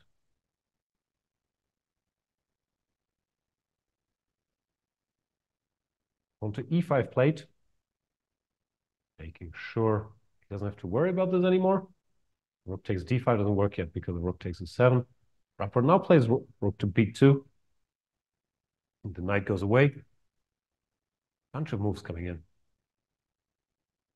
Looks like black is still white is still active enough to keep the balance with rook b6. Hitting this pawn and also threatening g5 check. And probably that's why he played king f1 very deep. To be out of the g file if he ever needs to open it with g5 and g takes f6. Knight goes to c4. Yes, you take the pawn. Yep. Pawn gets taken. Also might want to sidestep this g5 check now.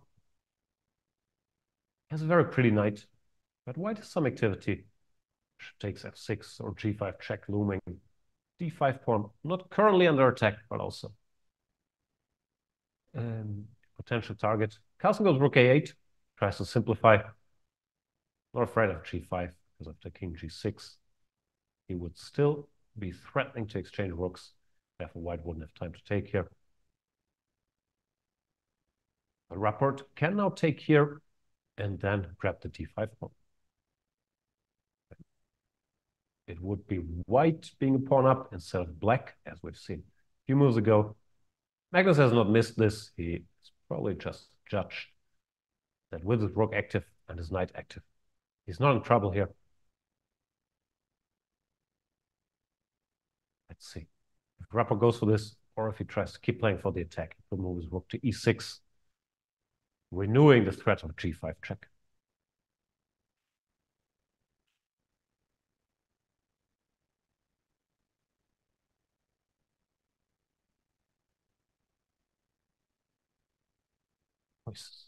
Rapport's time is also getting lower and lower, down to two minutes now.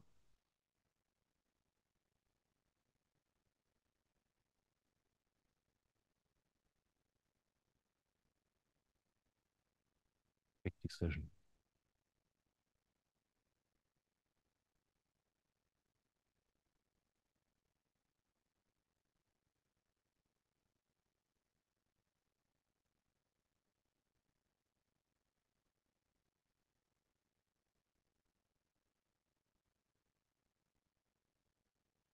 Just take.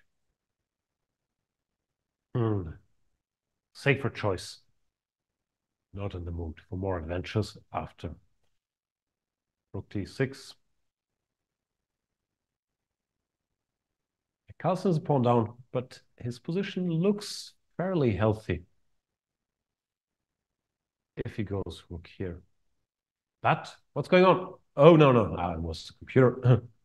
computer tried to move the rook from a8 all the way to a2, but got stuck on a3 there for a second. what happened. Do you guys see it?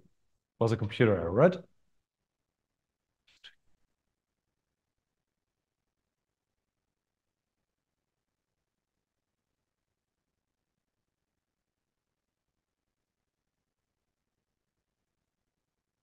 White should not go king g2.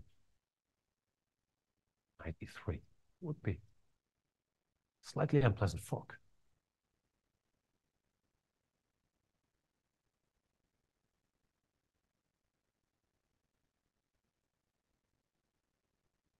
It. That goes bishop c5, covering the f2 pawn. I guess I could try to restore the material balance with rook c2, but yeah, rook c2 played. But then white has some active options of his own. He doesn't do that. He goes rook d3. He had the option to go rook d7, tending to play bishop f8, going after this pawn. 92 check, blunder. White can take. Ooh, Magnus Carlsen hangs a piece. 92. And Rapport immediately realizes what he's done. Rook takes d2. And after rook takes d2, there's bishop e3 check with a double attack. Magnus not pleased, loses this game, which was a very complicated game, by hanging a piece, rare oversight for the number one in the world in this position after rook to d3. If he plays, um, yeah, a quote unquote normal move, like pawn to e4, Compi says, rook d4, and rook takes c3, the game should end peacefully. Or just king h7, preparing knight d2 if needed, stepping out of this diagonal. Position would be equal, but Carlsen goes for knight d2 check. And Rapport does not hesitate, takes immediately, and black has to resign because after rook takes d2, bishop e3. Picks up the rook, white emerges, piece up. Shocking blunder by Magnus Carlsen, the big favorite here. And it's Richard Rapport who draws first blood in this tournament, wins his game against Magnus, and thereby, of course, takes the lead because the other two games ended peacefully as we've seen earlier. Keymer Fridman was a hard fight where Fridman had the advantage of the opening. Keymer defended nicely. Similar story, sort of, in MVL against Ding Liren, although I'm not sure MVL was ever worse, but Ding Liren easily neutralized MVL's London system and made a draw without any problems. So Rapport Carlsen, big fight in the Caro-Kann, where Rapport got the advantage of the opening, seemed well prepared. Then Carlsen did his Carlsen magic, got a very playable, complicated endgame.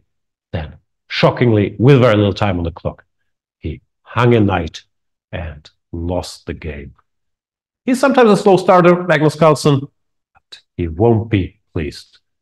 We will be back in around 15 minutes, probably we'll be back a bit before that with round number two, which is Ding Liren versus Richard Rapport. Daniel Fridman, the qualifier against Magnus Carlsen and Vincent Keymer against Maxime Vachier-Lagrave. The action will be fast paced here. It's a fun little format. We'll take a breather. Thank you so much for watching. Sorry, you have to bear with just me. But our dear friend, Mr. Leko, is recovering and his voice is even more gone than mine, I'm told. We hope to see him one of these days. Thanks for watching. See you with round number two. Until then.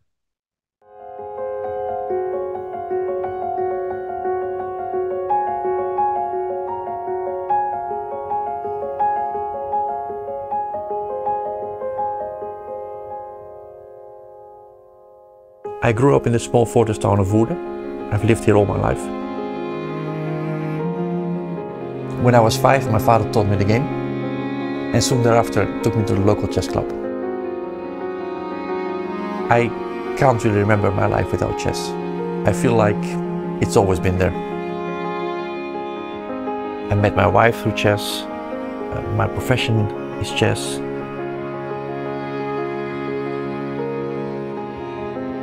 I don't play chess to win. I'm not that competitive. Uh, I love how the pieces move. I love the game.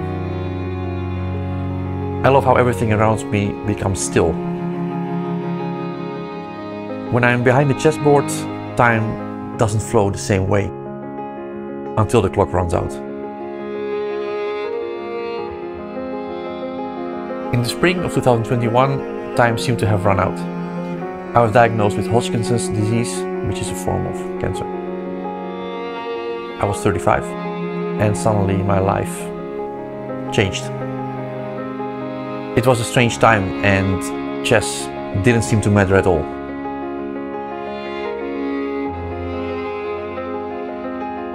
But I was optimistic. I uh, trusted the treatment plan and the doctors that were helping me and uh, I felt it was in their hands now. The chemotherapy, radiation, uh, at the worst, I could barely walk around the block. That it really puts things in perspective. like, like uh, if I have a bad position now, yeah, I mean, it's really, it's, it's no big deal, uh, you know. So maybe in that sense it helps that that you have a more of a, um, uh, a different kind of attitude to to to, to life.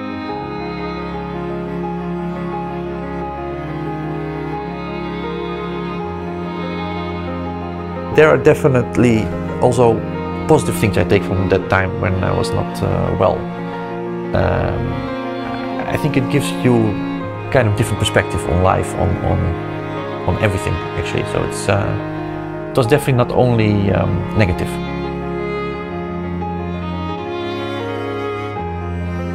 It takes a long time to recover, but chess players are anything if not patient. It, it was crazy because one month before the tournament in Vegas, I still had my radiation therapy finished. So it was it was way too early actually to to start playing, but I I wanted to desperately be at that tournament. I barely prepared for the games because I, I, was just too tired. I just I only played the games. I had dinner, went back to my room, slept most of the time. I had put that tournament as an um, as a goal. Best tournament I ever played. Then at the end of the year, after um, 16 failed attempts, I uh, became Dutch champion, and that was really the cherry on, on the cake that was huge for me. I was ecstatic. It was the feeling of I'm back.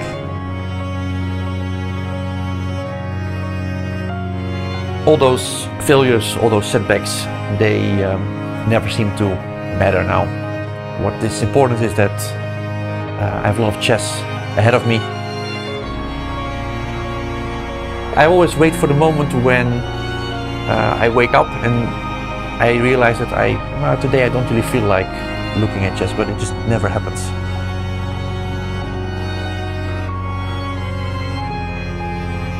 My name is Erwin l'Ami, and I'm a Dutch Grandmaster.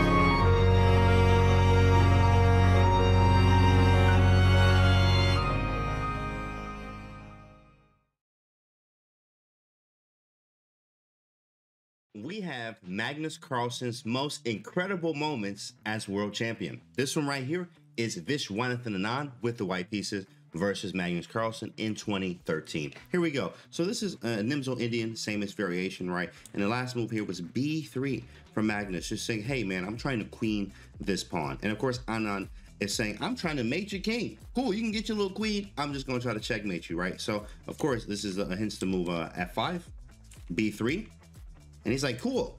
Uh, Viswanathan Anand says, hey, okay, you can get this queen. I'm going to try to go for mate. So he goes queen f4, get another piece in the game. This looks very, very dangerous here. Knight c7. What the heck is going on? Knight to c7. He thought it'd be something spectacular. He was like, yeah, I'm waiting for this one. But it's just knight to c7. Defensive move. Cool. Allows f6 to happen here.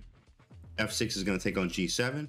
It's going to be kind of annoying, scary things happening with knight h5. Magnus plays g6. Okay, it's locked up. It's going to be scary if a queen gets to h6.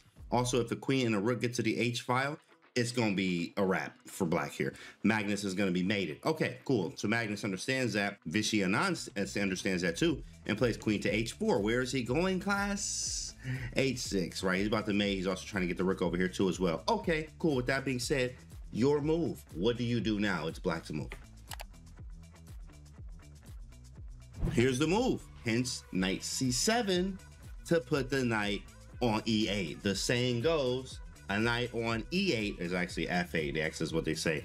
There is no mate. Anand understands this. He said, oh, there's no more mate. That's cool. Uh, ha, ha. I'm going to put my queen right here. Uh, ha, ha. What I'm trying to do is bring the rook up to f3 or f4 and actually go for this mate on h7 because you stopped the g7 mate. That's cool. Perfect. Well, Magnus understands this. So what does Magnus do in this position? Black to move. Here it is. Magnus says, cool, you want mate? Okay, that's cool, that's cool. Go for it. B2. Do your thing, big fella. Go ahead, Viswanathan Anand. So he says, okay, I will, young fella. Rook F4. He goes here and he's going for Rook H4 mate. Wow. This is scary. Well, are you going to get your queen? You did all of this. Are you going to get your queen or not? Of course we are. B1 queen. Right, and after b1 queen, knight to f1 from Anand, and the move, the move here that seals the deal is what, guys? There's two queens on the board. Magnus has two queens, but is he getting mated or not? It's black to move. He goes queen e1, and then the game is over. the game ended right here, believe it or not. There is no more PGN, right? What do you mean, queen e1? How, what? What? What? What sense does that make? Well, let's see what happens. The, the idea here is after queen e1, where were you putting your rook? h4. Well, I can just go rook h4. But guess what? After I capture it, queen sacrifice, sacrificing one of my two queens. After queen takes h4, let's do a piece count. You have a queen, you have a bishop, and a knight. I have a queen, a bishop, a knight, and a rook, guys. So after that, this is done, right? I have an extra piece, an extra rook, and there's no mate here. So that's a resignation. And Magnus wins. That's incredible, right?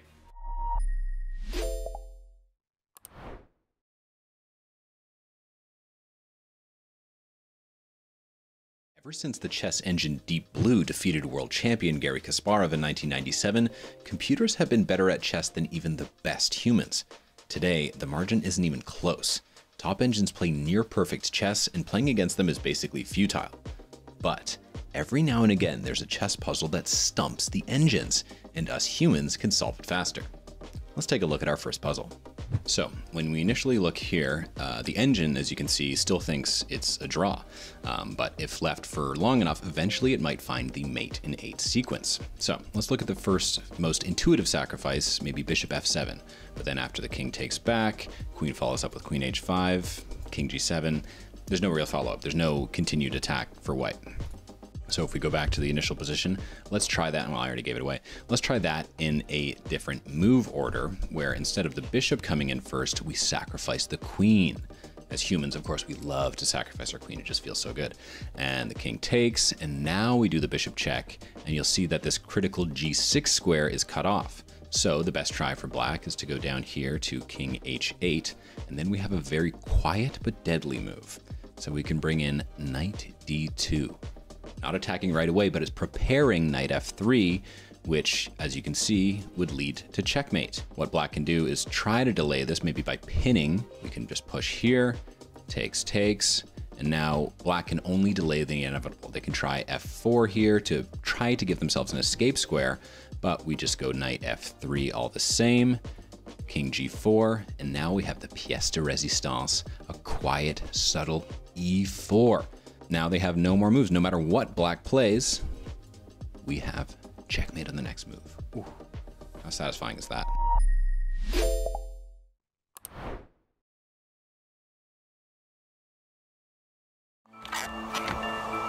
One pawn. Five suspects. Bring your deductive skills to the chessboard this March and help solve the mystery. Was it the movie star, Tina Tempo? The heiress, Beatrice Bishop? The Green Pawn's coach, Remy Rook?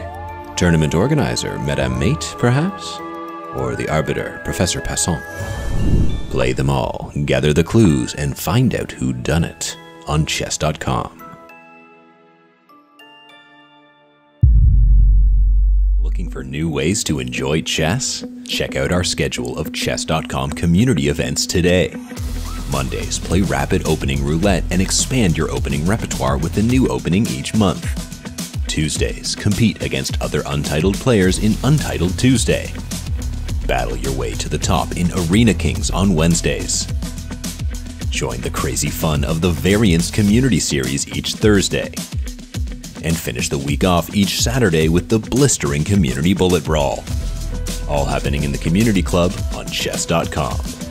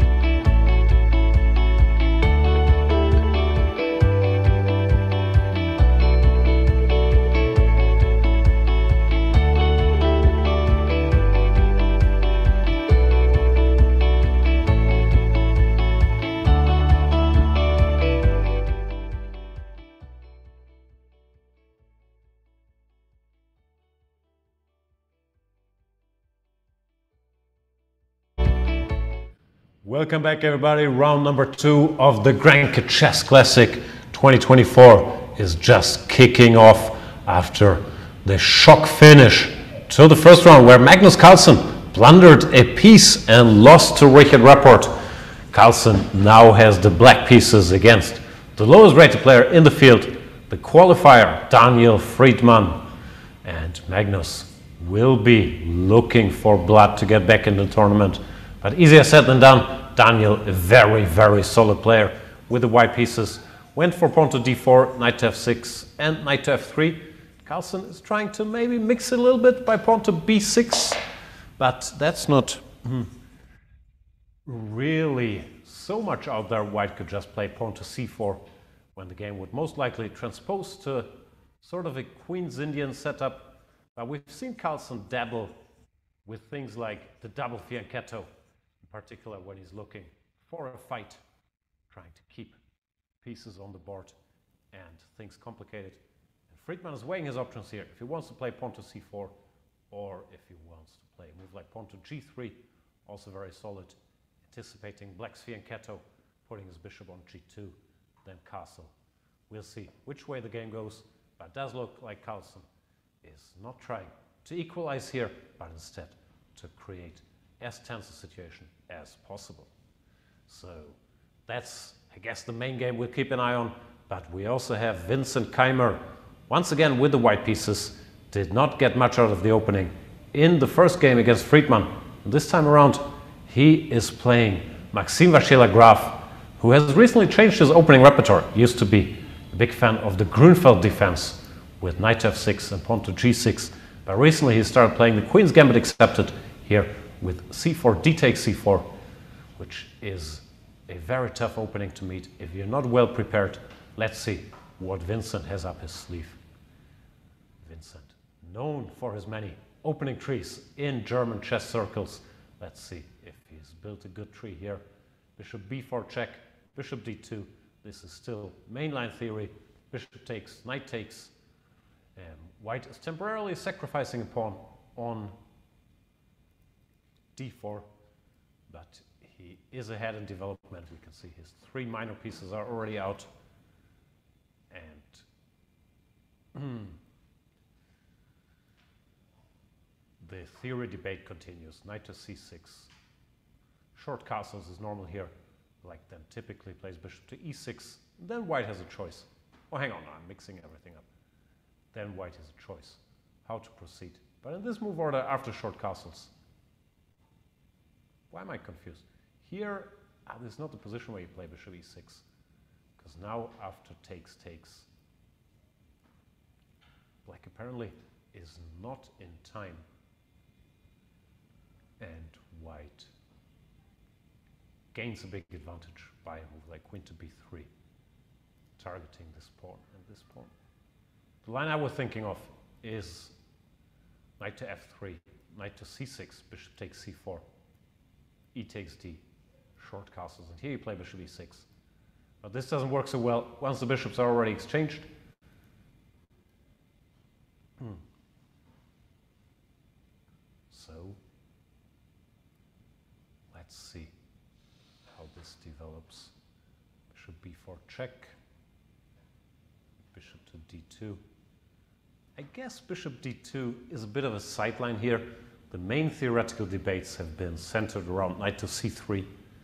Here there's this very sharp line that Maxime has been playing regularly with knight to f6, knight takes c5, and pawn to b5. But Vincent doesn't want any piece of that. He goes for bishop to d2, which is a calmer alternative. Bishop takes and knight takes. It's also slightly rare. I've seen some games like Giri versus Abdusattorov, where queen takes d2 was played so that white can recapture here with the knight or with the queen. But Keymer has done some homework and he goes for knight b takes d2, e takes d, bishop takes c4,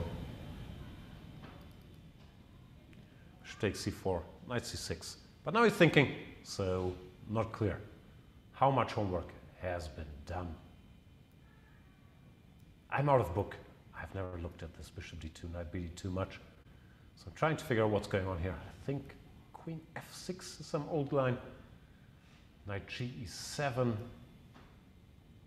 I only vaguely recall some old games here.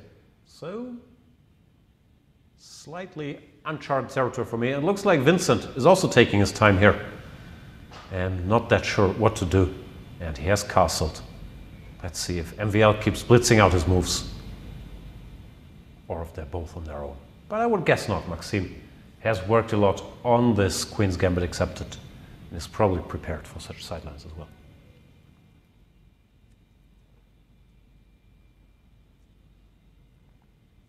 Okay, let's conclude our tour through the games. Go to the encounter between the classical world champion Ding Liren and our tournament leader Richard Rapport.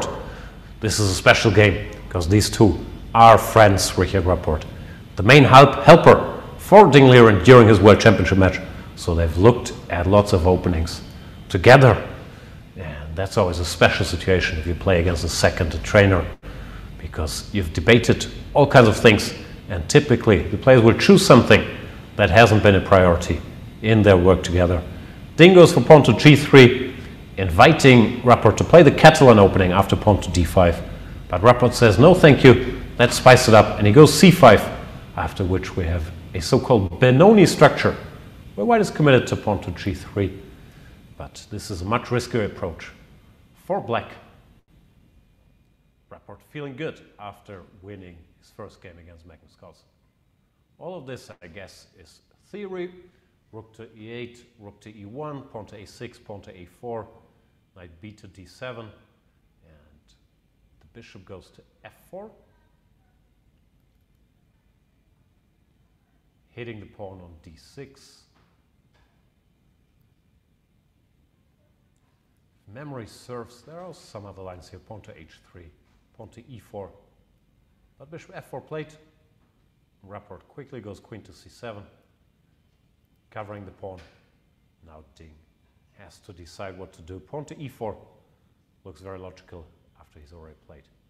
Rook to e1, but sometimes they want to start with pawn to h3 in such positions. The reason being that if you start with the e4, black has this jump knight to g4, trying to fight for the dark squares in the center, ASAP. Therefore, Ding is taking a pause here considering probably pawn to h3, maybe also some other moves like rook to c1. The problem is white usually doesn't manage to play both h3 and e4, because if he goes h3, then a typical counter would be to play knight to e4. I think, correct me if I'm wrong, my knowledge of this is very rusty, but I think I've seen something like knight d2, and then black sometimes sacrifices the exchange with rook takes f4, bishop takes b2, he wouldn't be forced to. He could also go rook b4 with a very nonsense situation already. But Ding is probably also searching his memory bank for if there's anything stored above these Benoni positions.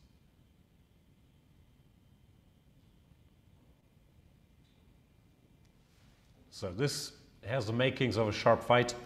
In Fridman Carlsen, we've also seen a lot of moves being made quickly. Fridman did indeed play g3, fianchettoing his bishop. And Carlsen, also no surprise, goes for the double fianchetto, trying to keep all pieces on the board. He's had some success with this approach. He defeated Arjun Erigaisi in a sharp game here. And Daniel, not backing down, plays a principal move, pawn to d5, cutting this bishop off. Might look more natural to develop a knight here with knight to c3, but then black can play knight to e4, um, solving most of his problems, activating both bishops and stopping white from grabbing too much space in the center. So typically, white tries to avoid that and either plays sort of a waiting move here like rook to e1 or the more ambitious move that's played by Fridman, pawn to d5. Inviting Carlsen to spice it up because black could play pawn to b5 here, so which things would get messy. But Carlsen decides not to do that and instead to develop pieces with knight to a6 knight to c3. Now this knight jump has been stopped as the bishop no longer controls the square.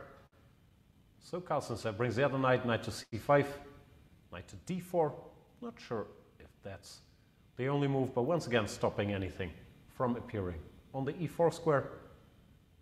And Carlsen goes pawn to e5.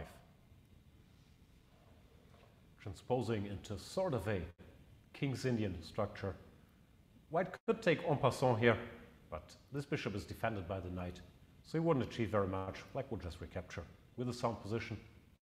Therefore, instead, Fridman plays knight to b3, wants to exchange knights and maybe pronounce that this bishop is a bit misplaced against this pawn chain. But Carlsen gets his fighting structure that he was looking for. Pawn to d6, knight takes c5, b takes c5.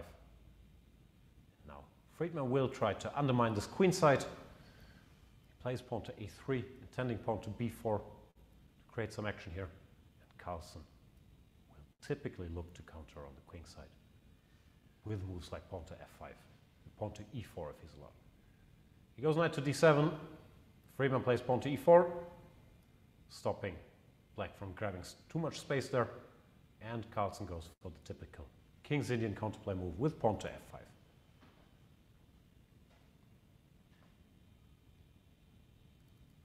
Pawn to b4 plate, expanding in the center and on the queen side. Looks like Fridman has a fairly comfortable position. With his bishop fianchettoed here, the quote-unquote typical black counterattack you often see in King's Indian structures with f4, g5, g4 doesn't really do that much damage. This bishop could sidestep to h3 here, control this crucial diagonal. Therefore, yeah, it's unlikely black would have enough time to start a mating attack. I would guess Carlsen has to look for other ways to treat this position. Maybe I don't know actually. Pawn to a5, is that a move to make white take here and then recapture with the knight? Another typical idea, but I'm not sure how well it works here, would be to take and play pawn to a5. That's a pawn sacrifice, and I'm not sure. Black gets enough for it. My hunch would be no, because white is still very stable and would have this extra pawn. Yeah, computer says this is just nonsense. So Carlsen has to find a way to mix it here. Daniel so far looking good, playing quickly, confidently. Carlsen also blitzed out the first couple moves. But how does he proceed? Another way to play would be just to reshuffle this bishop back to c8, because the bishop is not doing very much on the b7 square. But the follow-up would still be unclear, while white has plenty. Useful moves, rook to b1, bishop to d2. Maybe one day knight to a4 to put pressure on this construction. So Magnus Carlsen taking risks here, trying to get a sharp game against Daniel Fridman. But Daniel, so far, looking quite comfortable. And Carlsen plays bishop to a6.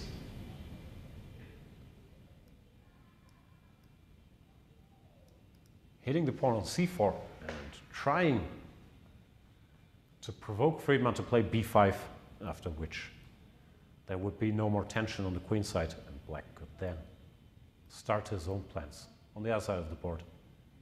But I guess white will not do him this favor and instead cover the c4 pawn with the queen, not sure which square, d3 or e2,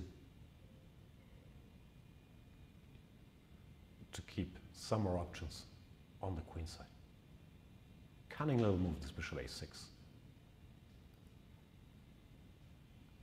see how Fridman reacts. The queen does move. It goes to d3 indeed. Covering the pawn. And once again. The ball is back.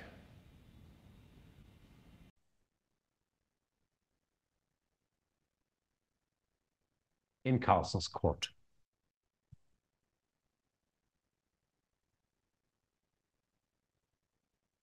Could admit bishop a6 didn't do much and bring the bishop back to this diagonal.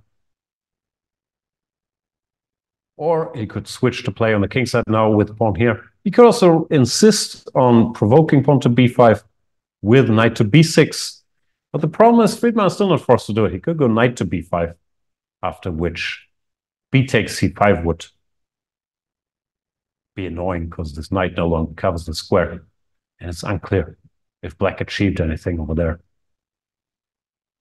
Therefore, so far, looks like Fridman's doing well here. But of course, Magnus was not trying to win this game out of the opening, but create a tense situation. Maybe he will just go f4 and hope for the best.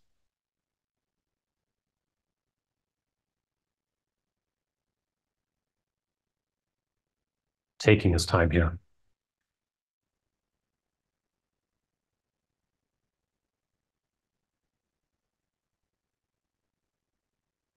In other news, in the Keymer MVL game,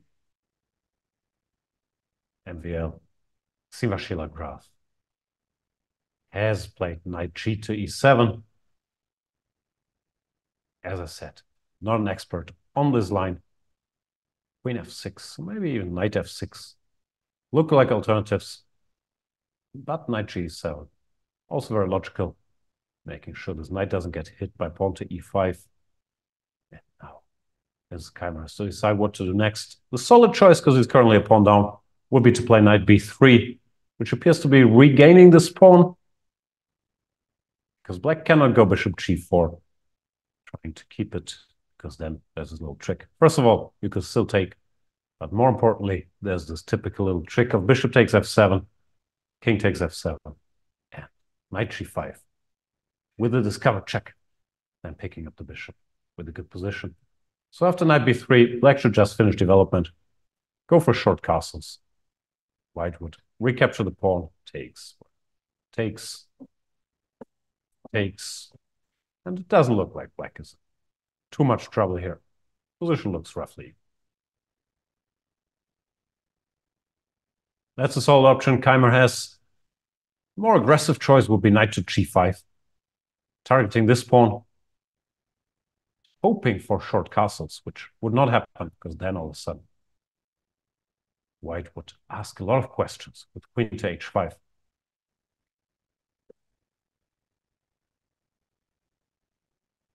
So of the knight to g5, black should go knight to e5, covering the pawn, hitting the bishop, and play could get very sharp after bishop to b3, hinting at pawn to f4, let's say pawn to h6, pawn to f4. And this could, could become very messy. Takes, takes, attacking the pawn. But that look like Vincent Keymer is freestyling here. So he has to calculate all this, while his opponent is most likely in book. That's not the most pleasant of situations when you're trying to decide if you want to go for a very sharp line, like knight to g5. So my best guess would be that Vincent plays it solid here with knight to b3. The drawback being wouldn't give him much of an advantage. With that, we continue our little tour in Ding was Rapport after queen c7. Ding did indeed play h3. Very tough for me to pronounce h3. I'm German. Go easy on me. Stopping knight to g4. Rapport goes rook to b8. Hints at pawn to b5. There's Magnus checking out the game. And pawn to e4. Now knight to h5. I guess b5 was too slow because then white could break through in the center with pawn to e5. Let's say d takes c. Pawn to d6. This does not look great for black. So he had to take a time out, cover the e5 square. Goes knight h5. Also hitting this bishop which should move somewhere. You don't want to allow knight takes f4 here. So I'm not sure where it goes. Let's say d2. Now black could play b5. But white keeps having some trumps even. If black achieves that, bishop f1, hitting this construction. It's unclear if black is so happy with the overall situation. I think usual disclaimer, not an expert, blah, blah, blah. And rook to b8, intending b5 is sort of a rare plan I mentioned earlier, knight to e4. I believe is the more typical way to handle these positions. freeing the bishop on g7. But Rapport likes to go his own way. All right, back to Fridman Carlsen. The bishop has indeed abandoned its mission on the queen side after bishop a6, trying to provoke b5. Fridman says, no, thank you. Goes queen to d3, covers the pawn. And Carlsen says, okay, just checking. I will go back to c8. Not clear if the queen is worse on d3 than on d1. My best guess would be no. But the bishop didn't have much to do on a6 anymore. So he goes back, and Fridman tries to clarify the situation somewhat by going knight to a4, putting pressure on the c5 pawn, asking black if he's happy to allow b takes c5 and then to play with these double pawns. Black does not want to take here because after c takes b, a takes b, white gets a very nice structure for these positions and is ready to follow up with c5 whenever he sees fit. Instead, Magnus plays knight to f6, saying, you do your stuff on the queen side, I'll focus on the other side. That's a good counter, because b takes c5. Something takes on e4, I guess. Knight, knight takes e4. And if bishop takes, f takes, queen takes e4, white would have won a pawn, but he would have weakened his king. Black would get a lot of activity. Bishop f5, queen e2, say pawn to e4. Both bishops all of a sudden are kicking. I don't think Daniel, who's been playing solidly, will want that. He plays pawn to f3, trying to maintain a structure here in the middle of the board. Once again, asking Carlsen how he plans to deal with this. Carlsen could play bishop d7, which I guess is logical to hit the knight on a4.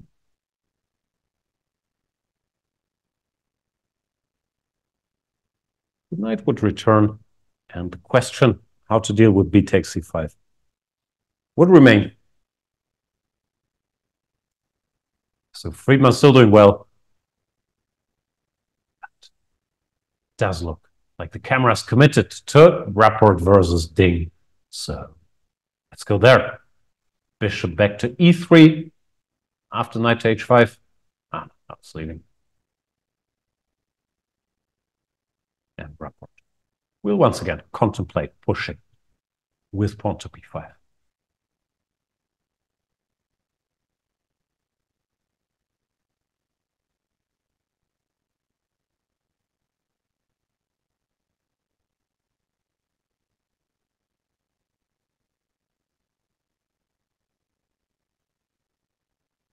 Could become very sharp after takes, takes. Now with the bishop on e3, the drawback is the rook is not covering the e4 square. So after bishop to f1, which looks logical to attack this pawn, black could grab a pawn in the center with bishop takes c3, b takes c, and rook takes e4, would cost him his precious fianchetto bishop on g7. So it's not clear this is a good deal for black. But it does look like logical play from both sides could lead to a very tense situation. We will see if Rapport is ready to enter it. But having having played rook b8, b5 looks like a very logical follow-up.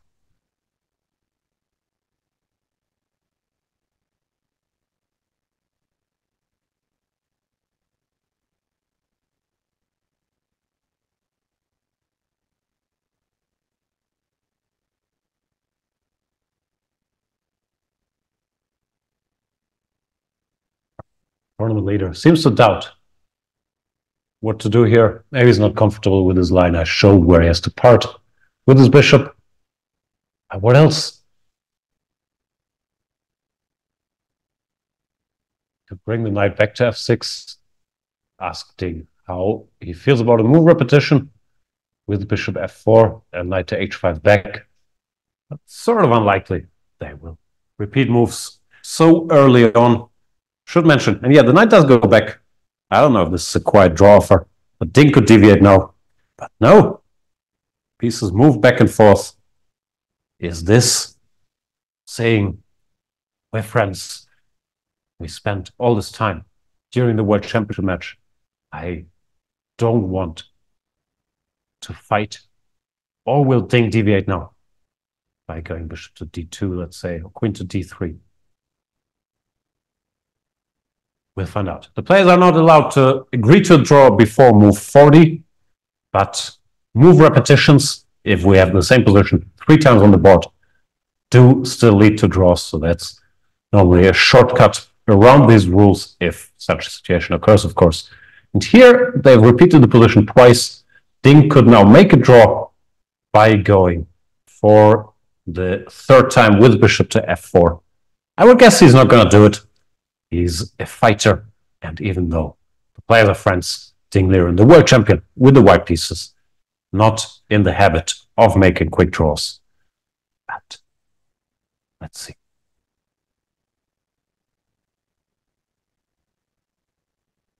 Yeah. Draw agreed. Anticlimactic bishop to f4 and a threefold repetition. 18 moves. Like I said, these two know each other very well. Yeah, probably neither felt like pushing too much. Great first day, four Richard Rapport, beating Magnus Carlsen, and then quick and easy draw against the world champion. One and a half out of two. Well, yeah. Ding. Maybe it was because of playing his friend. Maybe he's still trying to get his feet wet, playing quote unquote normal chess again. But quick end to this game, which leaves us with two games remaining. Daniel Fridman against Magnus Carlsen and Vincent Keymer against Maxime Vachier-Lagrave. Let's briefly go to Vincent against MVL. A bunch of things happened. I was wrong as usual after knight g7. I said Vincent's going to play it safe with knight b3. Vincent said, not going to happen. I'll go for blood with knight g5. The critical move. Knight to e5. Bishop to b3. MVL, who still seems to know these lines, playing very quickly, went knight 7 to c6. I was showing h6, f4 earlier, which looked dangerous. So knight 7 to c6. Asking white to play f4. f4 happens. Black plays bishop to g4. This very much looks like he's still in book hitting the queen, but allowing a little tactic in form of bishop takes f7. I guess black's point is if the queen goes somewhere, first of all, it's not obvious where. Let's say here. But now he could play h6, and after takes, queen takes. Position would be a mess, but black seems to be doing all right with queen e3, for example. Useful little resource. So instead, after bishop g4, Keymer directly plays bishop takes f7, trying to distract this knight that was covering the bishop. But MVL had anticipated that, or had known this. I think he's still book. Knight takes f7, queen takes g4. When we have material equality, where was pawn down? He's regained that pawn on f7. The black king is weak, but chess is a concrete game, blah, blah. So it's black to move. He goes knight takes g5, ruining the white pawn structure a little bit. F takes g5, threatening a check. Queen to c8, covering that square. See, making all these moves very, very quickly. Queen to g3. White should not go for an endgame here with his slightly broken pawn structure. He has to try to stay active, using the fact that black cannot castle because king is cut off by his this queen to g3, and we are still playing quickly queen d7, introducing the option castle. Queenside, bring his king to safety there. Keymer has to keep pushing. He goes pawn to g6. Preparing rook to f7 in case black would castle queenside, which I guess he still should. Not sure what else. You don't want to take here because then queen takes g6 check. It's more than a little unpleasant. And you also don't want to wait passively for rook f7. So I guess long castles, rook f7, queen d6 is the way to play. Queen shouldn't go anywhere else because that would be Little checkmate problem on c7. So queen to d6. Now we would get an endgame. Looks like white no longer can keep queens on the board.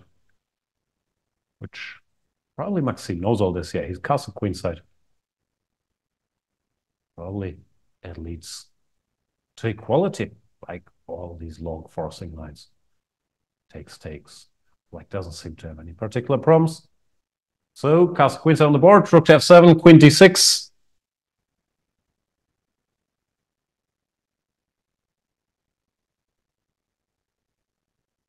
French star showing his homework here. Timer with the decision. I say you should exchange queens now. Actually, now looking at it, he could go queen h3 check. King to b8 and take this pawn. Would be a pawn on the seventh rank. I'm not sure how long this pawn would survive there after queen to g6. Still, it is an alternative. Like queen g6, queen f5. And things aren't that easy. Like now, recaptures. Maybe he's still fine, but his rook looks a little silly on h7. So it could be that that is a more principled way for Vincent Keymer to play. Asking, asking some questions.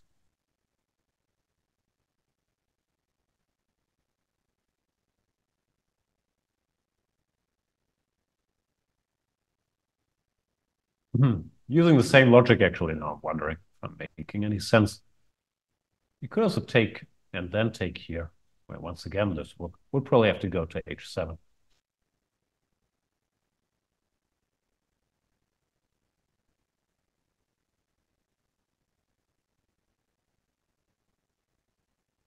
Bring him in. Hmm. We have guests entering the studio. The world champion Ding Liren is here, and he's joined by his opponent in the second round, Richard Rapport. Come on in. Do we have microphones for everybody? Excellent. Oh, they have to share.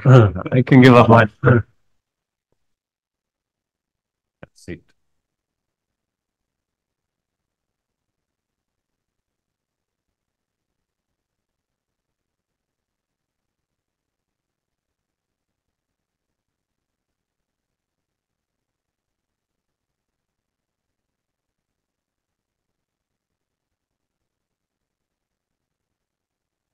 Hmm. We need, we need a chair. Oh, no, that's it. And I guess shoulder.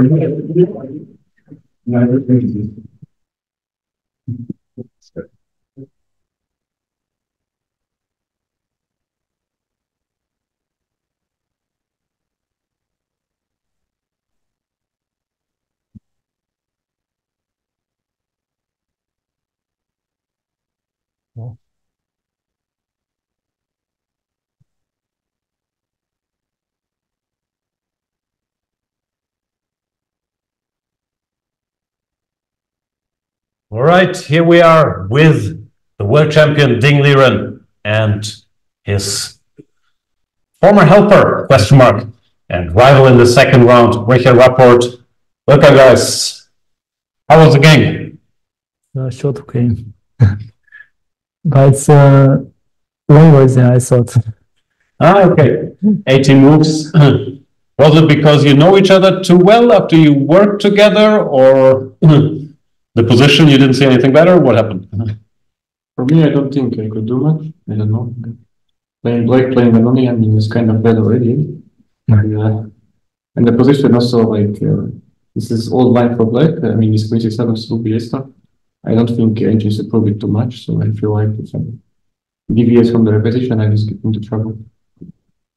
But also, There's like, no expert here in 94. I think the computer yeah, was saying. was yeah. No, I, I remember this not so precise but he did, but uh, I whatever. Because here, yeah, I think normally if I would just um, I mean, allow b5 and then try to play something there with some before ideas, something like that, I don't know. Yeah, you can go bishop d2, it says it, and If, Yeah, if, take, I- take bishop, before take the bishop f1, yeah, like, I'm not so sure if black is doing so badly, but well, this is normal stuff. uh-huh. With mess. Yes, if that was before at some point, maybe first to keep right, or not before immediately. And we end up with some, yeah. no takes. Nine takes. Fine. Heroes happy for white, but looks, looks messy. Yeah. Hmm. How did you feel? Did you didn't want to give the guy too hard a time, or you didn't like your position? I didn't like my position after knight h5. So, Kuro agreed there. Hmm. How does it feel to play this format with two games a day? Is it exhausting, or you feel it's uh, more relaxed than classical? Well, for me, I'm, I played almost every, you know, grade of open, yeah, so double rounds are kind of uh, what I'm used to here in Castle. And also the Bundesliga when I played here was double rounds, so it's always double rounds. You're used to longer double rounds, yeah? You play Six exactly. hours. For me, this is no, very six. relaxing. Yeah, like forty-five plus ten is like, okay, great, compared to two hours for forty and then one hour and then repeat that one more time.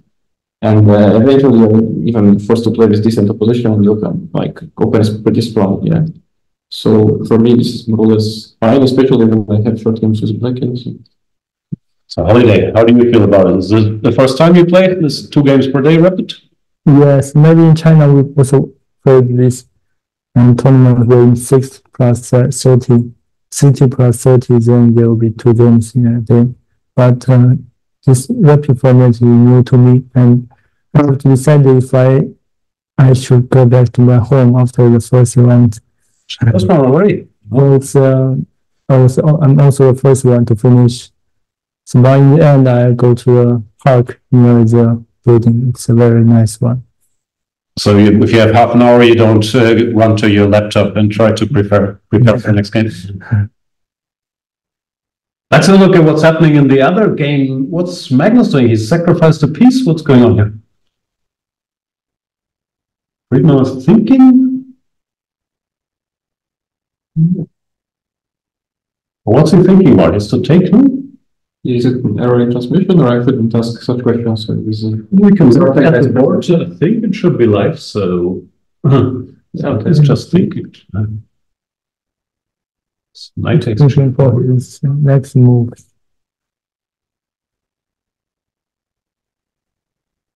Yeah, I guess FG Sports and then probably Black will have to play. Seemingly Black is not, will get to play for yeah, so that probably is not, not out of yours. I mean, at least I have the feeling that Black is kind of definitely in compensation. Yeah. And then since Black is Magnus, probably, yeah, it's already having some additional bonus to the position.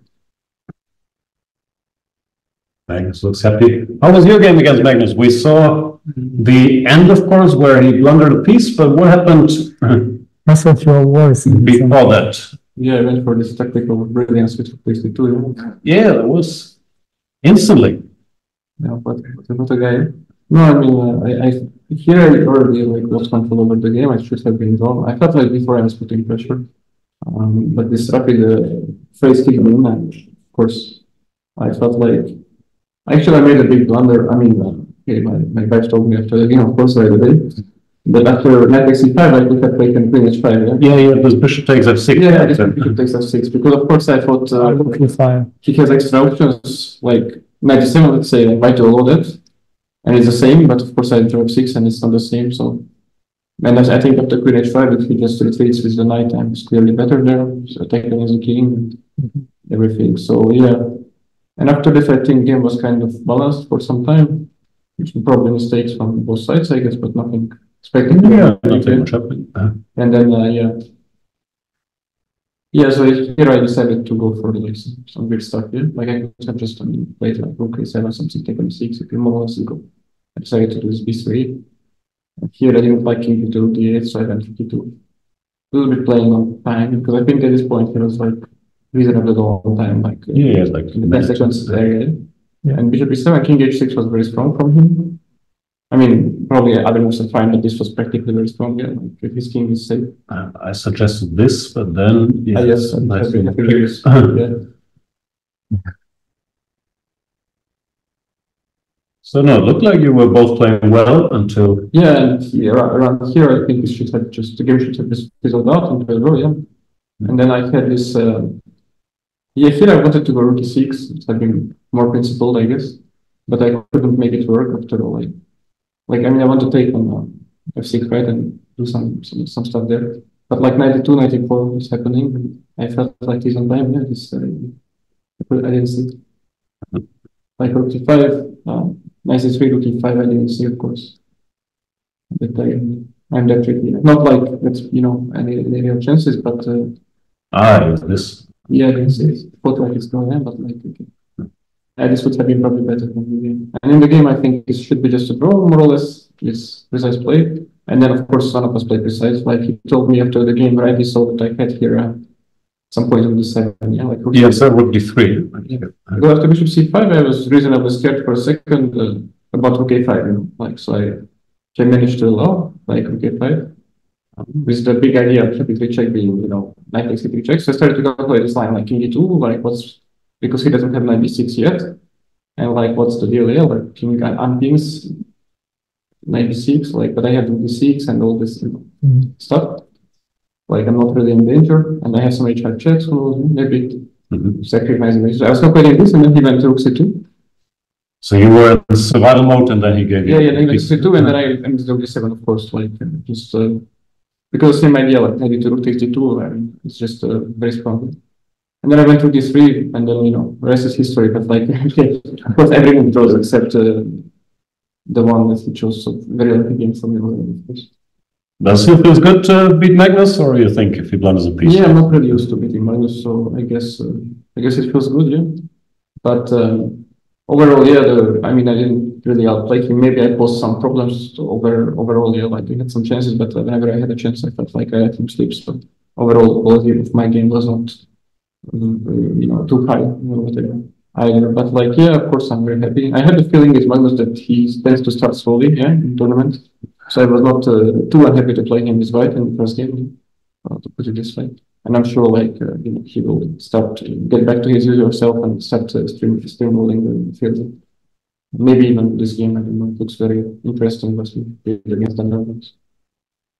Yeah, anyway, congratulations. Never easy to be Magnus even round number one. So how's your guys' relationship? You've spent a lot of time together, I guess, during the World Championship match. Have you stayed in touch? Are you still working or have you had enough of each other and said, "Need a break from this guy? And we still we, we chat uh, through the WeChat software and uh, some during the holidays we congratulate each other. Oh, okay. Yeah, so we still have in touch. Okay, that's good to hear. And what's your, your plans for this year? And Will you, will you be playing more chess? What's the schedule? Schedule will be Norway chess for next tournament and then maybe Olympiad Okay. and uh, of, of course uh, in the end of this year we have World Championship match. Yeah. So it's a chance. It's a for busy schedule for me. I mentioned.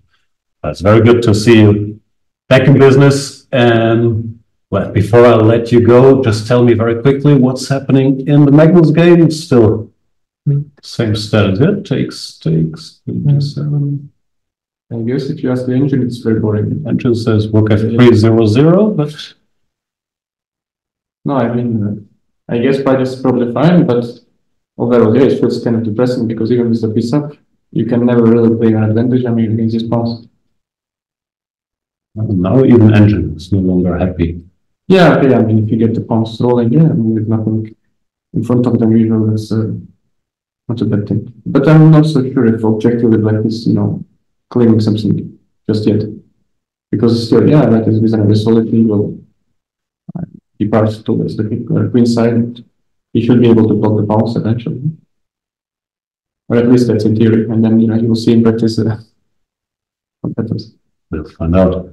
Thank you so much for joining. Enjoy an early dinner and yeah, best of luck for the rest of the tournament. Wrap up. Thank you so much. Okay.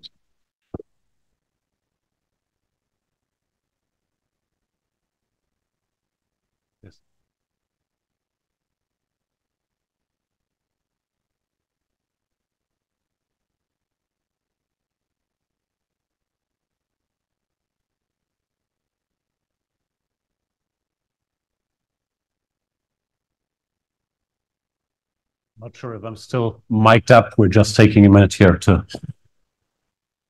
reposition. And two more games left in this second round. Of course, Magnus Carlsen, after his piece sacrifice, looking for his first win here versus Daniel Fridman. While in the other game, I think we've looked at this position. We have a roughly equal end game. Still some tension, but for now, roughly equal between Vincent Keymer and Maxime Vachier-Lagrave. Maxime Vachier-Lagrave with a better pawn structure, but Keymer is a little more active because of this silly rook on h7. So we'll keep an eye on that. But for now, let's look at Fridman versus Carlsen, where Magnus faces the decision how to proceed after he sacrificed a piece to get these fast pawns like Richard was explaining. And Daniel We'll have to try to block those. Easier said than done.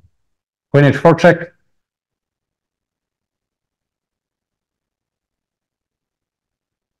King has to go. And the pawns will start moving.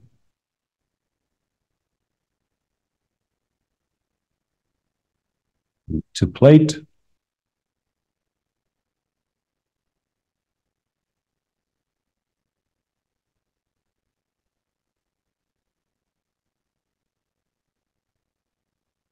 Manson mentions f3 check, which is not a move I would think of giving up the pride of the black position here. And yeah, Carlsen plays g4, which is just as good and a lot more natural, preparing f3. And also potentially g3.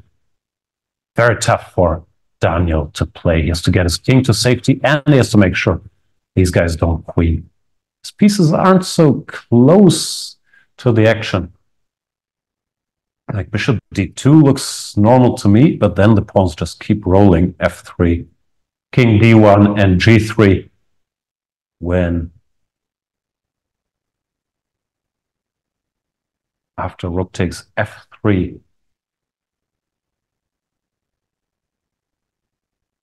black wins material with queen h1 check, king e2, queen g2, and this rook is gone. So not easy to do. Instead, Fridman plays king to d1, gets out of all potential checks, keeps his options open. I guess the black pawns will still be pushed. You want to start with f3 because after g3, white could block the pawns with queen to f3, and white would be better. So that's not going to happen. But after pawn to f3, still looks very, very tough for Fridman to keep these guys under control. And yeah, pawn to f3 on the board. Also easier to play for black. You just run and you tell white you figure it out.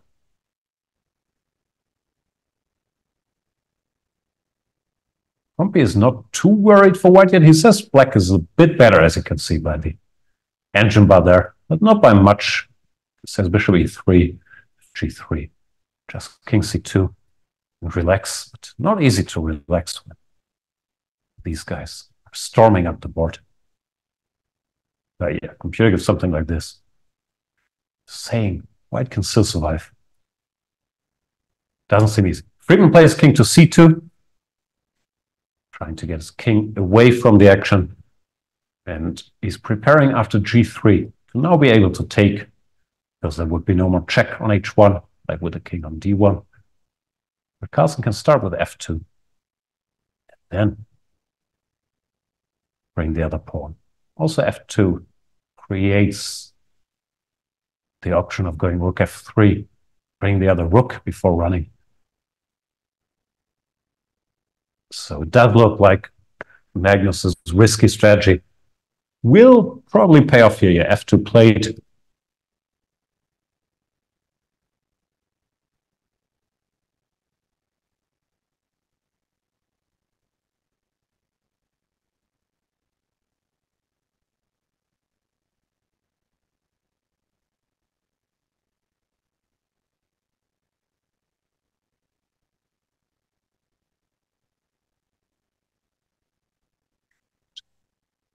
tremendously unpleasant for Fridman. Fun fact, or uh, I don't know if it's fun. Computer fact. Computer says the best play for white is queen e2, rook f3, and now, not the most obvious move in the world, queen takes f3, giving a whole queen for rook, just to make sure these pawns no longer run, takes in bishop e3. White would at least gain modicum of stability here. Get rid of this pawn. All of a sudden, the white pieces are much more harmonious. The drawback is you have to give the queen, and very hard when you're a piece up to come up with a decision like that to give a whole queen. But amazing resource there. Courtesy of Mr. Stockfish. Daniel looks calm.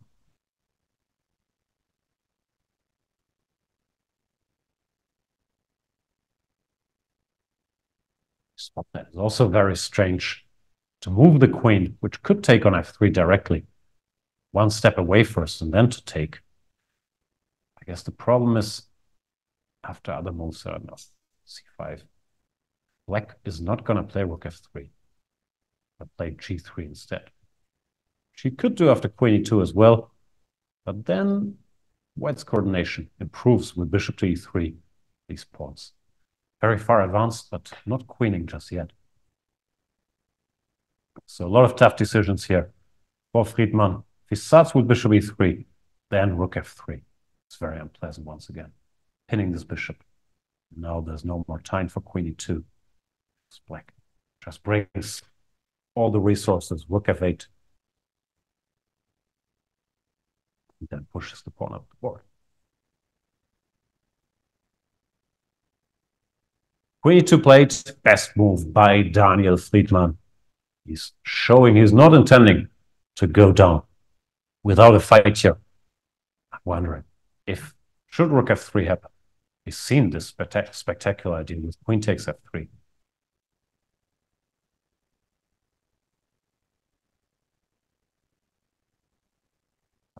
Carlsen has a choice, g3, also very natural.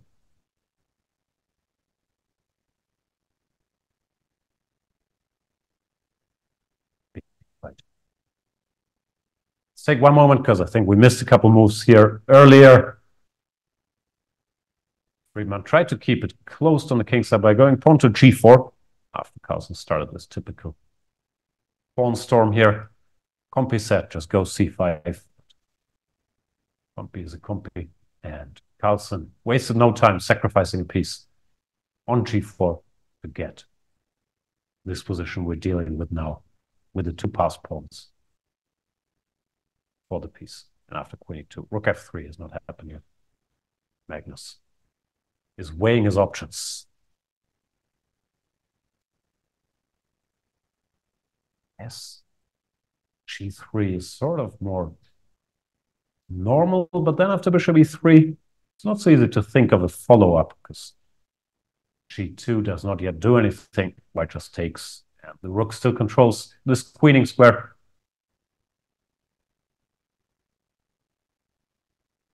Therefore, yeah, he does play rook f3 indeed. Trying to invite everyone to the party. Preparing rook f8. And then, once both rooks cover this f2 square, g3 followed by g2 would be a big threat. And now is the big moment. Is Fridman going to sacrifice his queen? It's not like he's better after. He's actually worse, but it is the best chance to stay in the game. Tremendous resource. Queen takes f3 followed by bishop to e3. Just giving the queen, or just a rook, not even a pawn for now, but to neutralize these passes. And all of a sudden, white's position looks harmonious, even though to fight against the queen is still not exactly fun.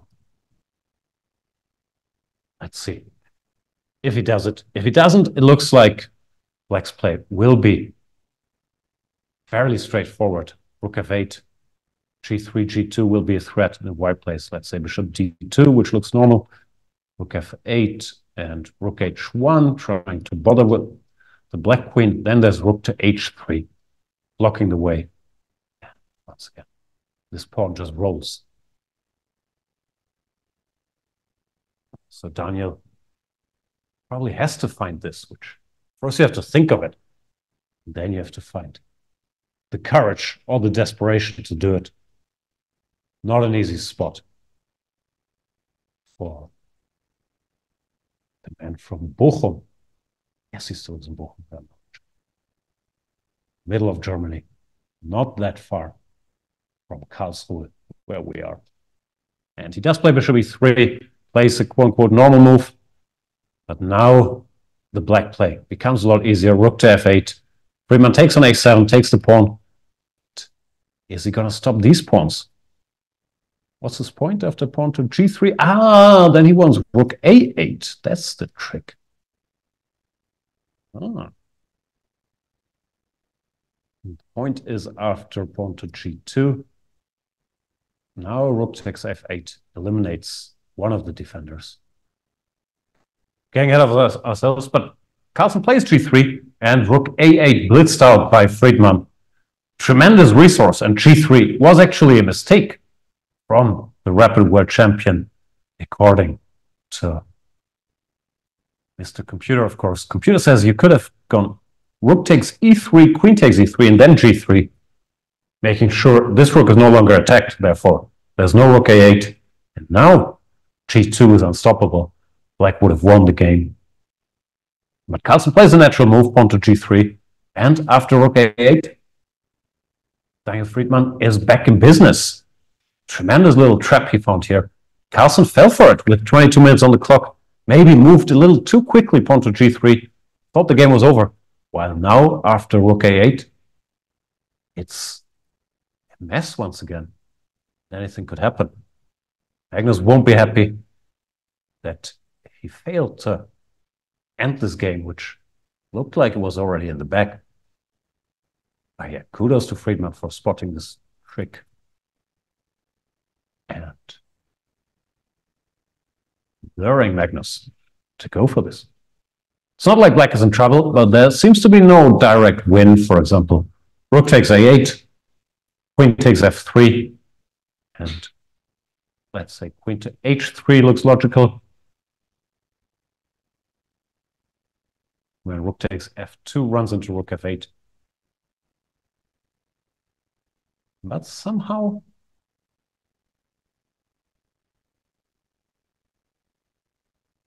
white barely is coordinated enough to hang in there.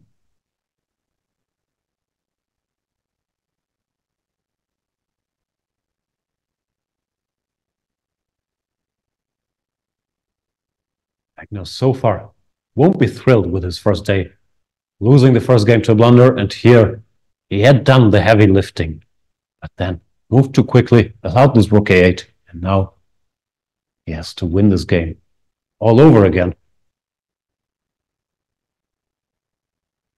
Because without a pair of rooks, let's say, I don't know, rook somewhere takes, whatever, takes all of a sudden, white has enough pieces in the vicinity here to neutralize these pawns. Let's say bishop f2, gf, and knight to d1. Well, I would have given the piece back, but stabilizing it would no longer be worse. So there's no no trivial way for Carlsen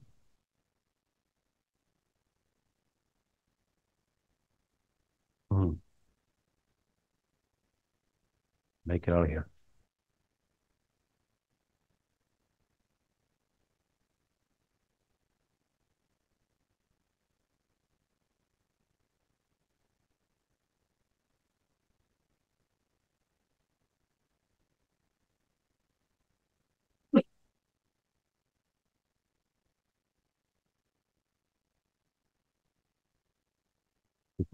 Does not look like he's overly bothered by the proceedings still. Leaning back, at Magnus calculate. He's not shaking his head or anything, but I guess he's kicking himself a little bit for allowing this g3 rook a8 resource. Should show. Again, that g2 now is just not in time. Rook takes f8. Rook takes, and rook takes f2. Black gets a queen. There's a check. The bishop takes here. Well, bishop takes f8. Runs into similar problems. Rook takes f2. g1 queen, let's say. And now after queen takes f3, or rook takes f3. But black would have two queens, but he'd be, he'd be in trouble. Rook g2 check is a threat. Queen f7, queen f8. All of a sudden, white is completely coordinated and has too many attackers. And even if black hangs in here for a bit, this would not be a welcome change. Trying to figure out why this is so terrible for black. Computer says it's completely winning for white. Okay, white has a rook and a knight for the queen, so he's not that much material down. His king is safe. His passer. Interesting. Carlsen. Yeah. And one move too quickly here, pawn to g3, allowing this tremendous result with rook a8. I've mentioned rook takes e3 was winning the game. Takes, and now pawn to g3. There's nothing you can do about g2 next. Rook a8, you can just take now. And there were also other moves like bishop to h6. Takes and queen takes once again. The march of the g pawn cannot be stopped anymore. Wait, by far the most logical move, g3. Now, he's been thinking for the last five, six minutes. Here says zero, zero. There's no, no win anymore. Yeah, you can see Magnus slightly upset.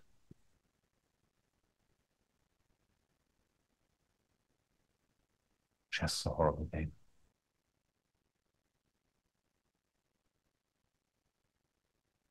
Carlsen keeps studying the position.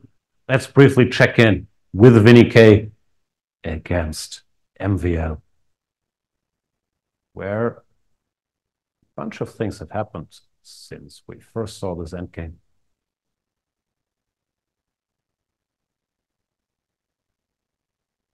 We left it somewhere around here, GH7, rook f1, pawn to b6, rook to c1, rook to d7, exchanging a pair of rooks. White looks to be doing all right, but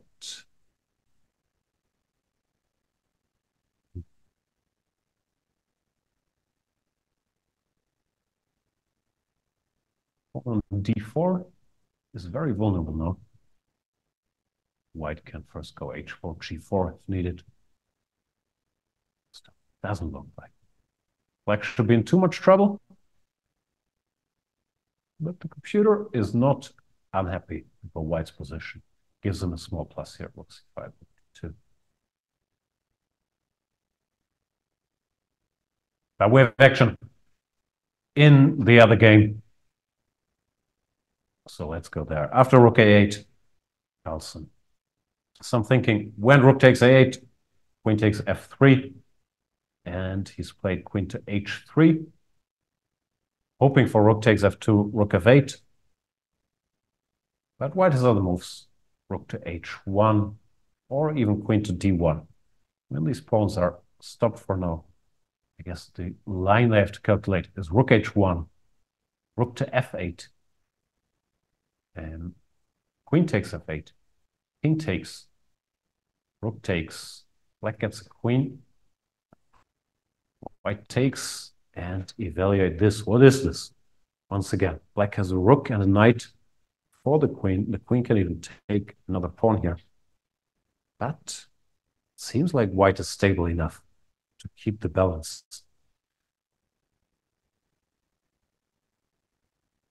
Partly because black's bishop is so bad. This knight doing a tremendous job covering all the pawns and taking all the checking squares from the black queen.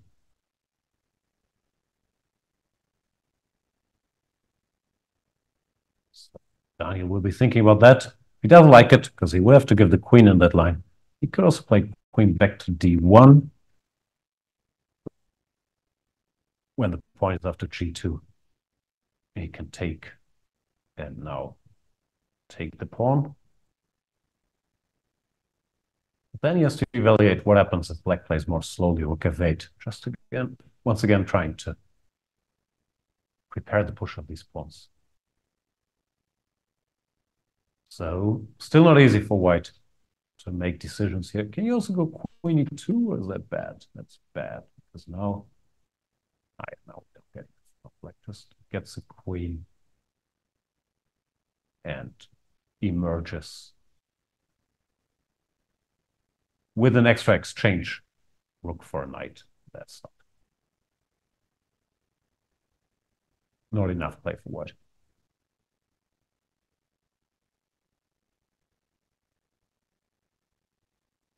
Big decision for Fridman. He's calculating.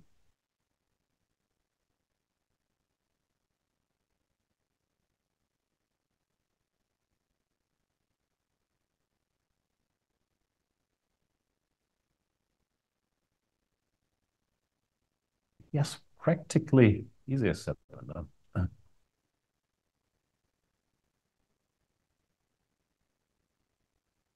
If you calculate all this, um, this would be a good path because this makes the position a lot less messy and a little easier to play. And again, you have to deal with this queen.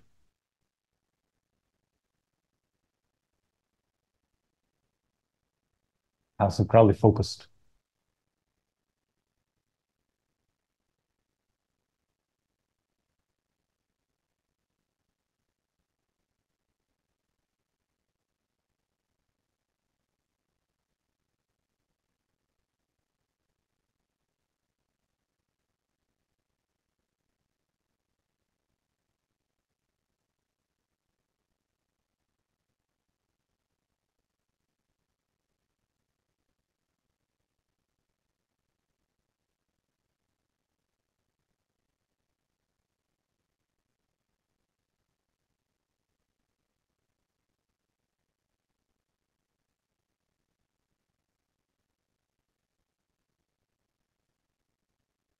Fridman has time to calculate. He's right to take the time here, this decision. So crucial for our game. We'll go, queen d1 seems to be okay, but that doesn't release the tension. It feels like a very hard move to make. I'm sure he's trying to calculate consequences of this rook h1 line and evaluate if he's safe there at the end with the missing queen. What does that? Let's switch to Vincent Keymer versus Maxime Vachier-Lagrave for a second. Hmm. Vincent with the white pieces, yeah. He said this. Tremendous results in the World Rapid Championship 2022, where he finished second, also drawing MVL there, I think in the last round, from a position of strength with the black pieces. So he's shown he can play with the best of them in Rapid, but of course also created a lot of expectations in the last World Rapid Championship. Didn't go so well in 2023, where he ran out of steam down the stretch. A good tournament, but keeps improving his rating. Recently broke 2740 in classical chess. Then he's had a rougher tournament in the Prague. It's called the Prague Masters last month lost some rating again.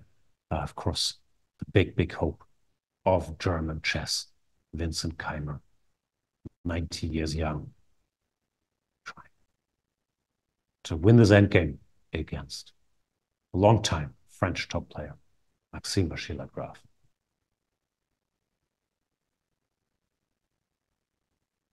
Give him the look, Vincent. We need a little stare down. No,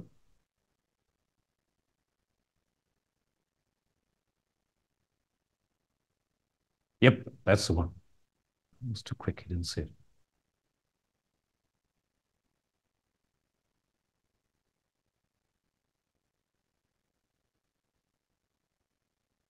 That we see. It's a Keymer.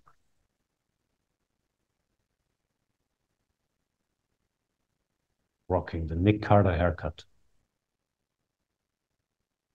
Sure, that's a reference Vincent's very familiar with.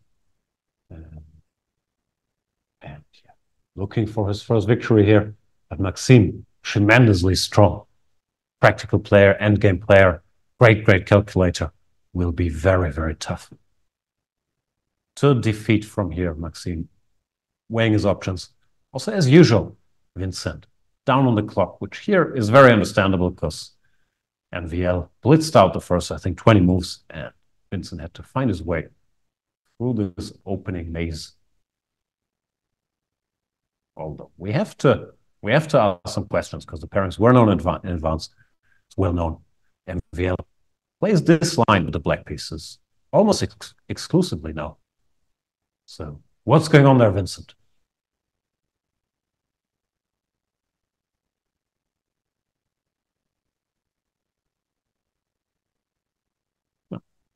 Could argue he got a small advantage with white, so probably not much to criticize. It took him a long time. Maxime is calculating now if he should exchange rooks, rook c2, rook d2, if he can take, he should go rook c1. Yeah, he goes rook c1. He's probably rightly decided that the pure knight endgame is not great for him because it's going to be very hard to coordinate his pieces here. Well, white can always target this pawn. Since the rook c1 was played, saying I don't mind if you take here. Will have enough counterplay. With my active rook, once again, guessing is true. Something like this. So king e5 first. Looks like it should end peacefully. Question is, can Keymer find a way? Prolong the game they can prolong the game by taking, but to put even more pressure, I don't know. If we play with like a3, black doesn't have to do anything. Think all these work endgames. Should be drawish oh, enough. Always has enough counterplay. But let's switch to Fridman Carlsen, where Fridman, after some contemplating, has gone or rook to h1.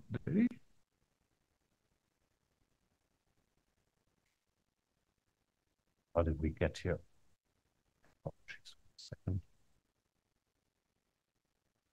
Yeah, he played rook h1, rook f8 by Carlsen, and instead of queen takes f8, which was this funky computer line with the queen sacrifice, he went for rook takes h3, which Yes, is a more human decision, but now he's forced to give a piece, and the G pawn stays alive.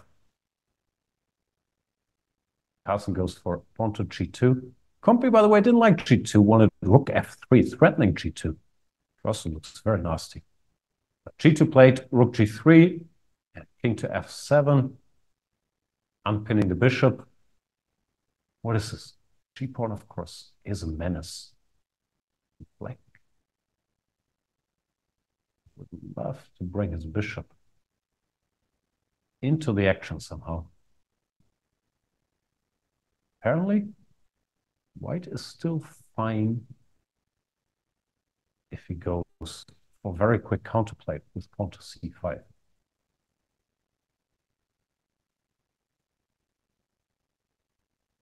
Too complicated for me, so I'll just tell you the computer line. Bishop h6, pawn to b5. Trying to create his own pass here. And yeah, b5 played. No, c5 played. Kudos to Fridman. Not going down without a fight. So the line I was going to show is bishop h6, threatens something like bishop e3, I would think. Pawn to b5. If black goes, let's say bishop e3, then all of a sudden it's white. Break through here. b6 takes and c6. And the white c pawn is the most dangerous free pawn on the board. So Carlsen would have to react to this b5. If b5 happens, that's just a computer line. It's not easy at all. With d takes c5, white should sacrifice her. another pawn to create counterplay here. Once again, with this runner, white is very much in business. Has his other options. He could take here. He could go bishop f8, but nothing that seems to be decisive. Daniel keeps fighting. This was a chance. Probably Carlsen rejected it because rook h4, trying to go rook g4. But then, once again, brought to you by our friend the computer. This apparently was a better version for black, with this rook so passive. Black would have been in time. While now, Fridman has a real chance to save this with his counterplay on the queen side. Looks lost, but apparently it is not.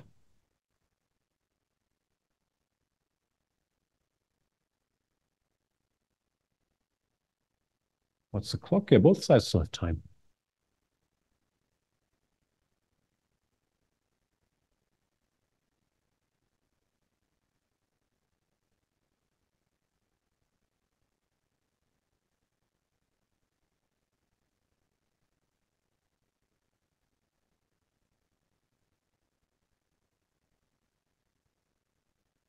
Fridman. Might not be used to playing against Magnus Carlsen, but he's a tremendously experienced rapid player. Plays lots and lots of rapid tournaments. He's always been a specialist.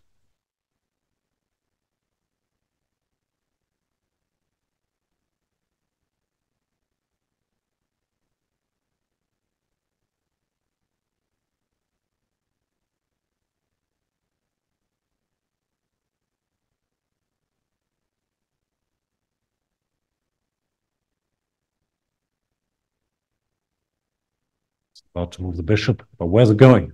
h6, f8.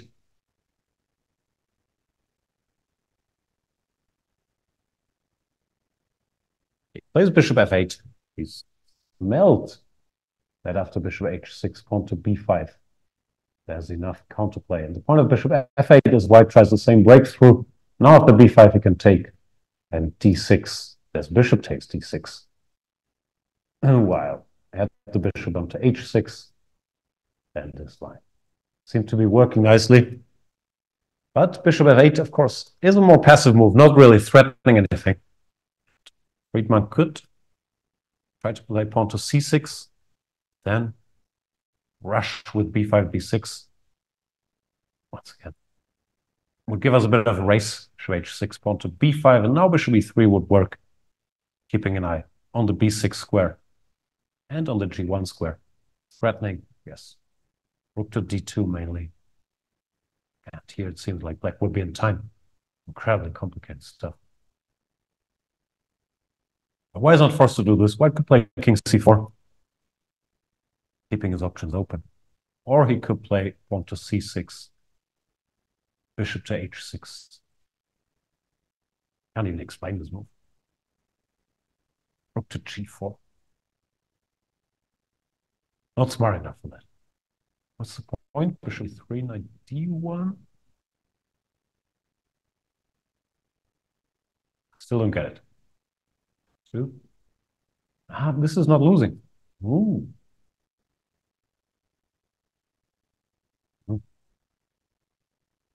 That's, I think, possible. To spot this rook g4 move. Probably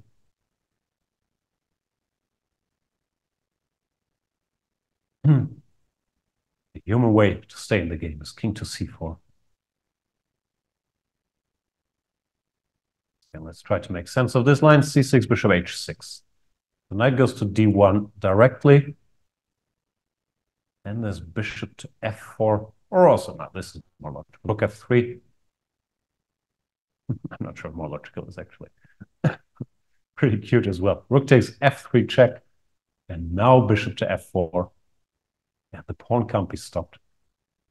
Black wins.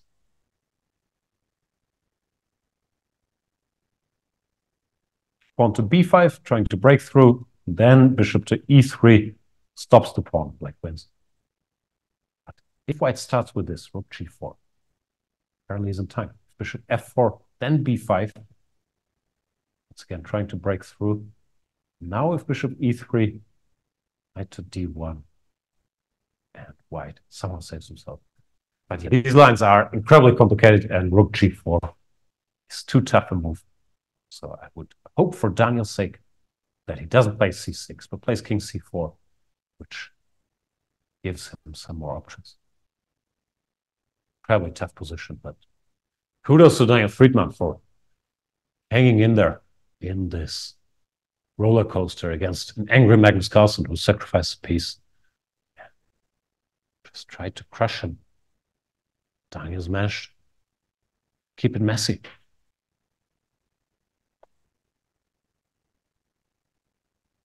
In the other game, nothing too dramatic has happened, although I'm sure it's also tremendously complicated. Just as I said it, Maxime gives a pawn. And Keymer played some quite improving moves. King to f2. And MVL loses patience, goes knight to e5 here, saying, please take my pawn with check. Tough decision. Knight takes d4, he has to go somewhere with the king. Knight f3 back. Yes, black is selective enough, but there is potential here for drama, with the white e-pawn also being active. So not as much drama as in the Fridman game. So we'll focus on that one. Magnus Carlsen after a tough, tough start to this tournament, hanging a piece against Richard Rapport. Now it looked like he was on the verge of victory. Missed one very good chance to end the game quickly, then one more hidden one. Now, not anything could happen, but it is messy because white has counterplay.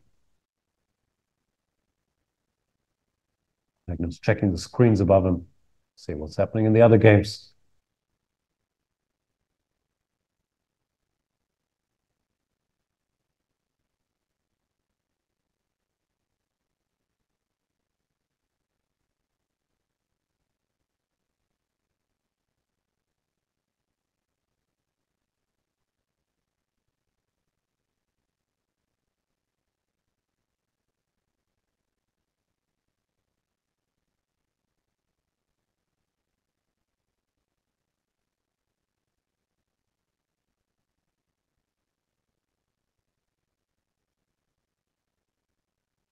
Looks impatient. Make a move, Daniel. But Daniel's right to take his time here. It's another big decision between c6 and king c4. And I guess c takes d6 is also an option. Uh, because c takes d would give white a passer again, and bishop takes d6 would take this bishop sort of off its preferred path. But after bishop takes d6, it's still hard for white to create any more counterplay. So I'm guessing it's not on Fridman's top two list of moves in this position. Still, we shall find out within the next eight minutes and 20 seconds.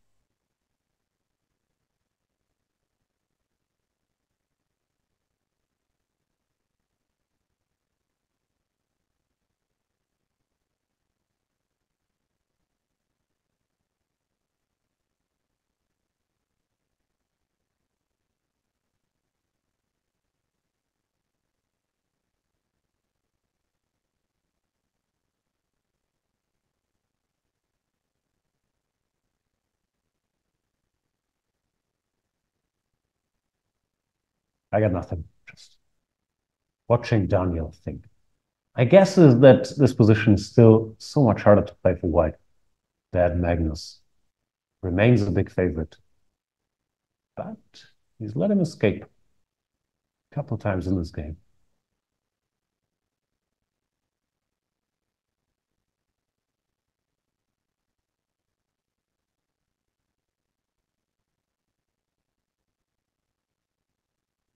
Fridman. Long-term German national team player. When we won, humble brag incoming, not even humble, the 2011 European Team Championship, both Daniel and I were on the team on lower boards, holding the fort, always been. Tremendously solid player, great chess culture, well educated, very, very tough to beat. He's always been a great team player. Has been on the team recently, but not that far away, I think, his classical rating. It's dropped a bit to like 2.575, especially in rapid. Still, very much a force to be reckoned with, as we can see here. And he did play king c4, which, as mentioned, seemed like the best practical decision. These lines up to c6, bishop h6 looked impossible to find. Well, now the play is a little more straightforward once again after bishop h6. White should go for b5 and after d takes c5. Still the same breakthrough with d6 and b6. Mm, therefore, yeah. He's putting the onus on Magnus to calculate, find something. Cast plays bishop h6. He's arguing that the king is worse on c4 than on b3. Probably because he has rook b2 in one of these lines, like, like say, let's say takes d6, takes b6 here with the king on b3. The rook can't go here. Well, now it can. But this position remains far from clear. This. Still very unclear. White can convert. If black can convert this, Compi says it's still equal.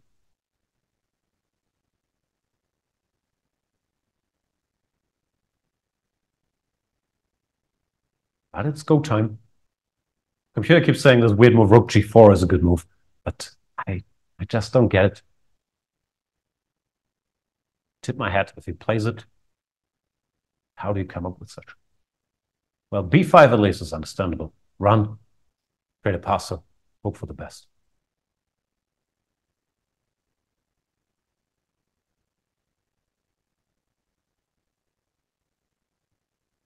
Meanwhile, in Keymer MVL, Vincent Keymer has managed to outsmart Maxime Vachier-Lagrave, which is extremely hard to do in an endgame like that. The knight e5, yeah, Maxime lost patience a little bit, somewhere around here. Starting with this knight e5, but it seemed like it was more prudent to just keep pushing pawns. Probably didn't want to wait for white to play g4, h5, but apparently that was the way Played 95, gave this pawn with check. 92, nice little maneuver. Bring this knight over to c3 and d5 if needed. Rook b1, knight c3, rook b2. Intending the fork after rook takes. But Vincent was ready. And it turns out that this knight endgame is good for white.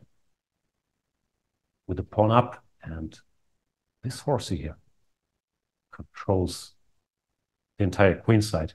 Looks like white is winning this, no? G4, reminding him king can't run too far away because of the H passer. F6. Now, how do you do this? C3 takes check takes the A pawn drops. White should win slowly. So it looks like Vince Keymer is doing well. We'll get back to this. Let's stay with the Fridman Carlsen action. For now, pawn to b5 on the board. Once again, best human decision, Daniel Fridman. He's playing this endgame tremendously so far. He takes C intending to break through with d6. Keep asking questions. Slightly surprising that black doesn't have anything here with the pawn on g2. White is just in time. Should be 3 is a move that keeps tempting me. Then this breakthrough is just so strong. b6 takes c6. Would completely ruin black's position. So Magnus also has to be careful. Best guess is we will see this line d takes c, pawn to d6, c takes d, pawn to b6, rook to b2, knight to d5. Now the moves are knight d5 actually, even b7 is possible. Exchange this. Something like this. And now that we evaluate, Uh, remains tremendously complicated.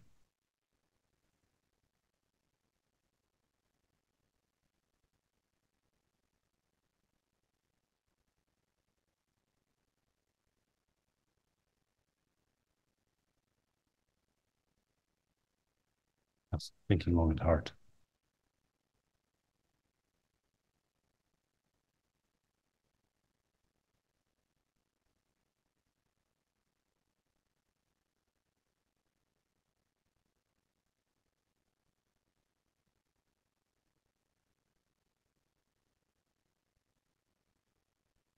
A line that looks nice is not in time to go. But this, once again, breakthrough is so strong. Takes c6. Now c7 is a big, big threat, let's say. g1 queen. Takes x. This pawn can't be stopped.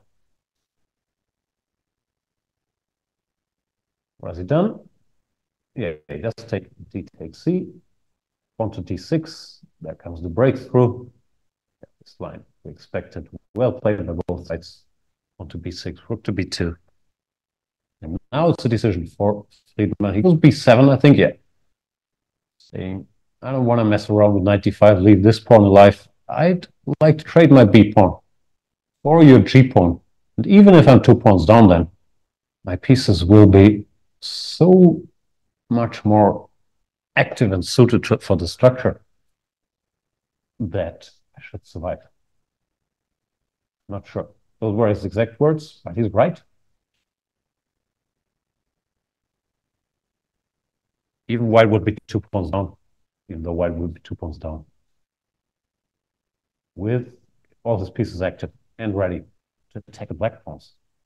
It looks like white should survive this sure Magnus will find a way to ask a question, but objectively, my eyes see zero, zero, zero. Oppenheimer.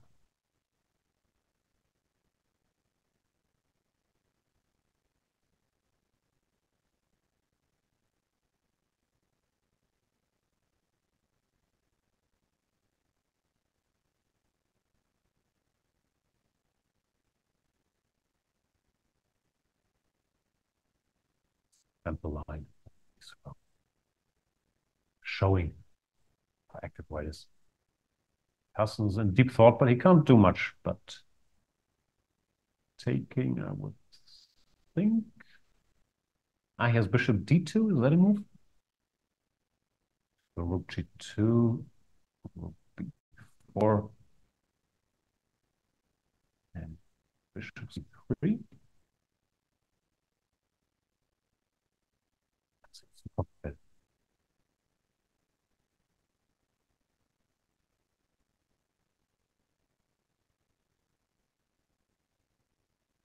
He has a check first or before check. Why lure the king to d5? What's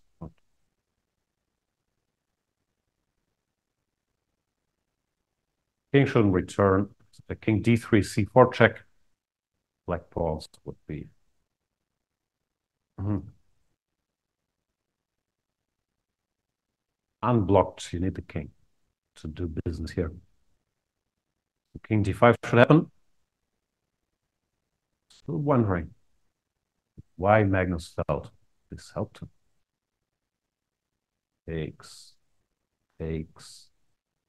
Ah, maybe he, he wants rook b3 now and he saw he can transpose after king c4, rook b4. Sorry. Talking to myself, trying to figure this out. So possibly he saw it will end up in this position anyway. It's just fooling around a little bit on the way. Not sure. Surprising, normally two pawns up in an endgame are sufficient for a victory. But here it's the worst case scenario with this dark square bishop, all pawns on dark squares being blocked by the white pieces, white controlling these squares around the pawns, where even two pawns are enough, aren't enough. Cast plays rook b6, covers the pawn, and want to keep the knight out of this square, force the king here. Let's see how Fridman plays this. He could go back, preparing to dump with his knight somewhere, or he could try to activate his rook, like rook a2. Does that make sense? Let's check here.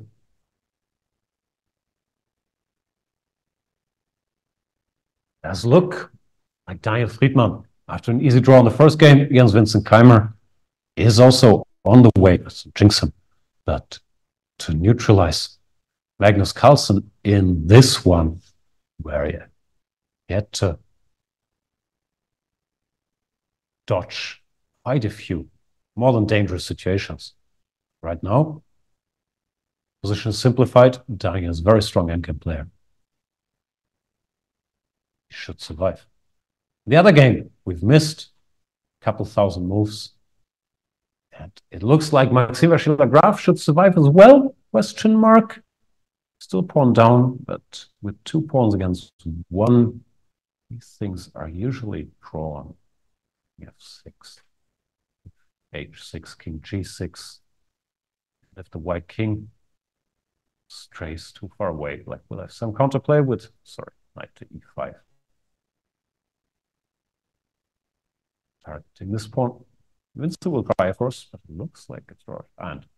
And Vale goes king e4, doesn't even bother about putting his king. Passive, stays active with the king. After h6, what does he do? And then he he hustles back.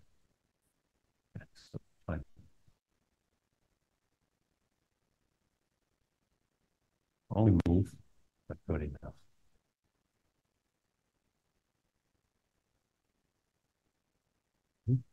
So now it looks like we're headed for three draws. Can't say they were particularly boring though. It's a. Let's have a look. If he missed a chance somewhere around here, pawn to h5, Pompey is very unhappy about. Once knight c3 or knight c7. Keeping the structure flexible. After h5, g5. Knight c3 was played. Pompey is still happy for white. Five. Still happy. Oh, 94, not happy. Oh, All this sounds way, way over my head. So read out knight to d3 was the way, targeting this pawn. And then after b4, apparently wise in time. Bring the king, support b2. White sacrifices knight. Now, with with the three pawns remaining. Okay, tremendously complicated stuff. Currently, it very much looks like MVL. So I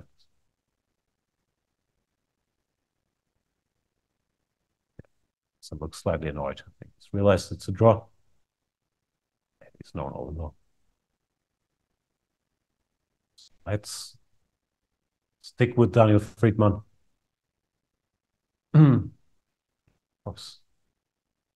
will not be let go by Magnus Carlsen just yet.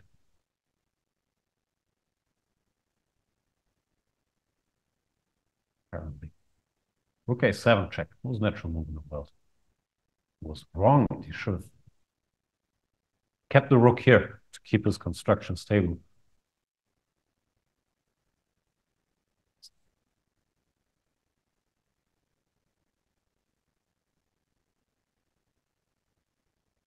Armchair general building. King f6, what's going on? King c4, rook b4, king d5.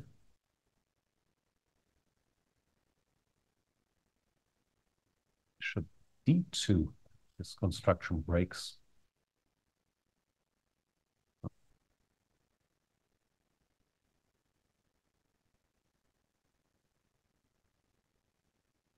King f6 on the board.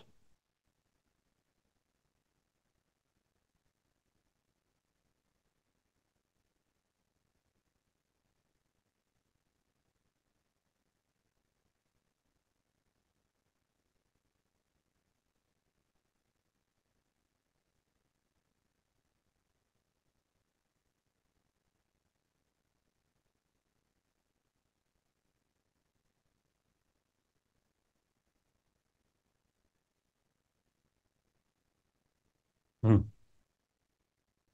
Check and back. Now bishop d2 seems to be the problem now that the knight can't access this square.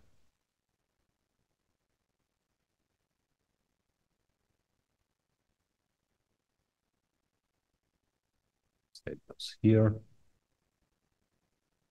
Oof, still tremendously complicated.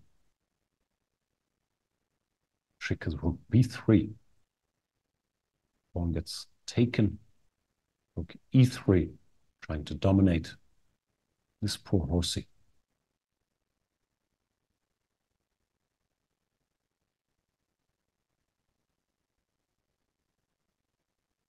Yeah, that's why apparently it was better.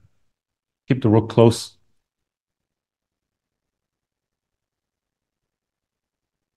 looks like there's not a lot of progress to be made for black. Something like this. Knight active. And yeah, castle spot bishop d2. See his expression changed there. Hmm. He's going to grind it out after all. Big, big fight. Knight goes to e2. And now look b3. Very tough. Right, dominate. This horsey for re-emerges on a different path.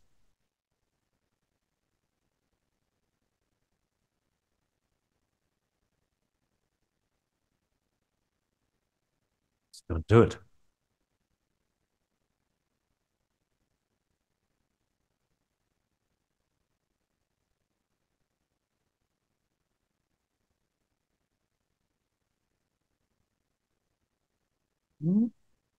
Shaking his head. Doesn't seem convinced yet.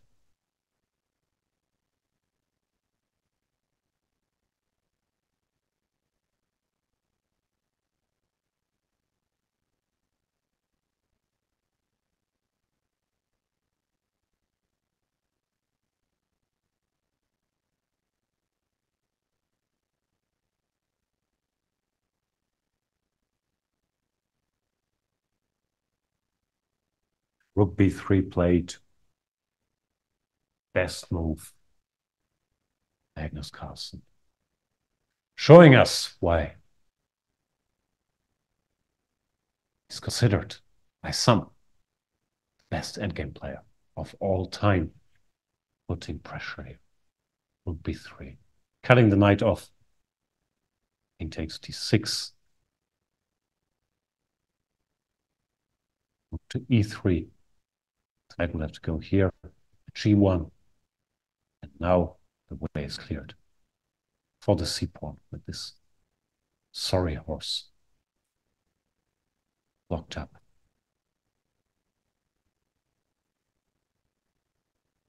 C pawn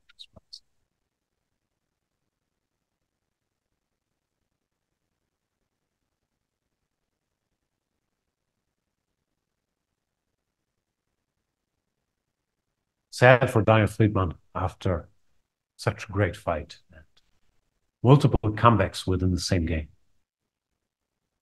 He does seem to be going down after all.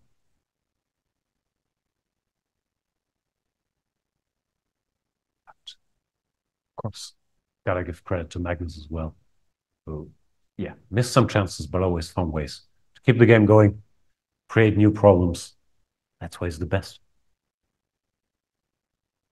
And all of this after this blunder here in round one against Rapport. Carlsen starting with two black games here. But if he manages to win this one, the damage has been admitted. Meanwhile, Vincent Keymer is still trying to convert his extra pawn against Maxime Vachier-Lagrave, moving his knight all the squares on the board. The problem is it's hard to threaten anything. Even here, once the h pawn gets rolling, it's still not really going to queen as long as the knight covers the h8 square. sorry, the h8 square is here. Uh, the king can always come back to help.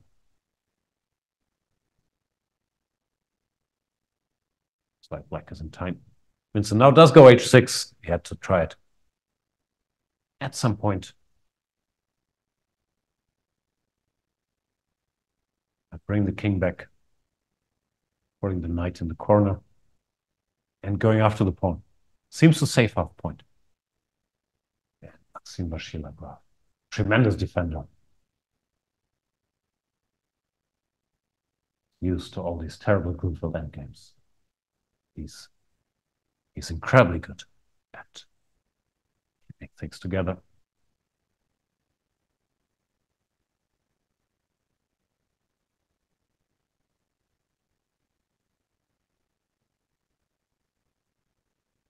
Daniel Fridman keeps fighting, goes rook a2, bishop b4, king takes d6. Still not making life easy, but now Carlsen is in the zone, goes rook d3 check, blocking the king away into c6, and he activates his king. Strictly only moves, even rook d3 and king g5 show how close this is, which I still can't even process it, I can just read out. But Carlsen seems very dedicated to not let go. King g4, king c4, now rook d1 keeps the king cut off and also the knight. Beautiful domination, actually. All the pieces are teaming up to control these knight squares. Next would be king to f3, where does look like the job is done. Either the knight or the e-pawn or both would fall. Try knight c1 and king takes c4. And this is different. Two pawns up situation.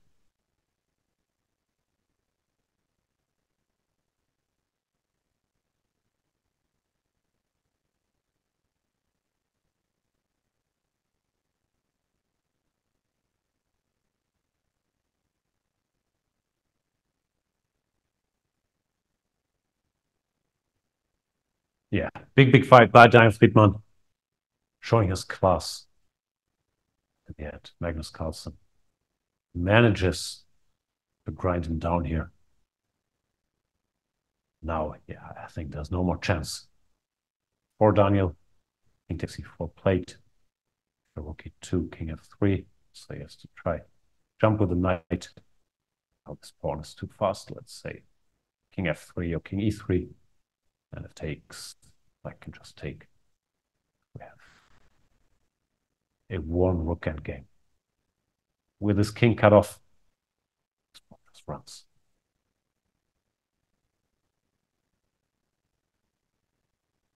So rook d3 is played. Doesn't spoil anything. Pawn still can't be taken.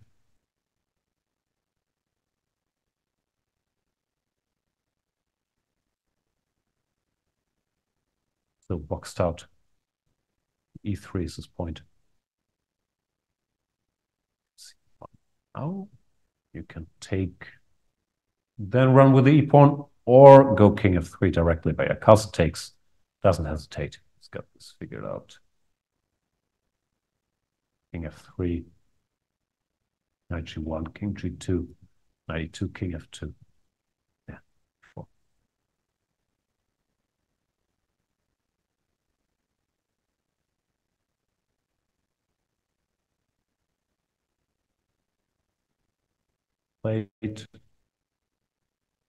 Check. Yeah.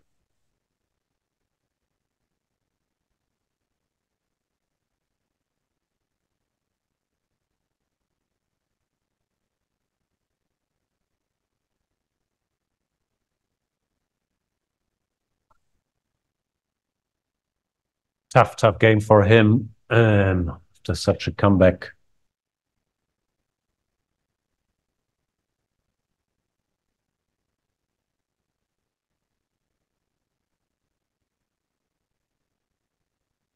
Surprise king d5, but Not much to hope for king of one, and d2. Yeah. He resigns. Hmm.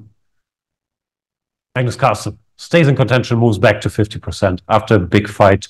And the other game, also over at the exact same moment where Vincent Keymer tried for a long, long time to grind down Maxime Vachier-Lagrave, made great progress in the endgame, but on move 71, he had to abandon his winning attempts because Maxime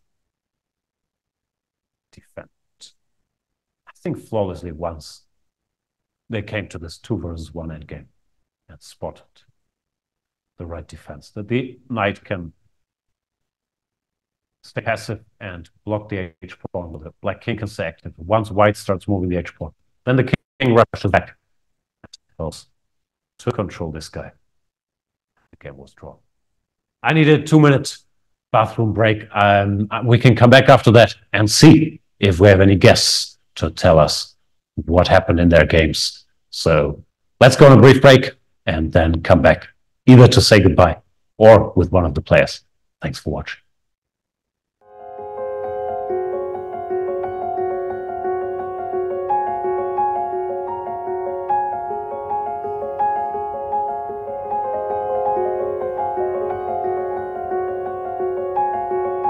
I grew up in the small fortress town of Woerden.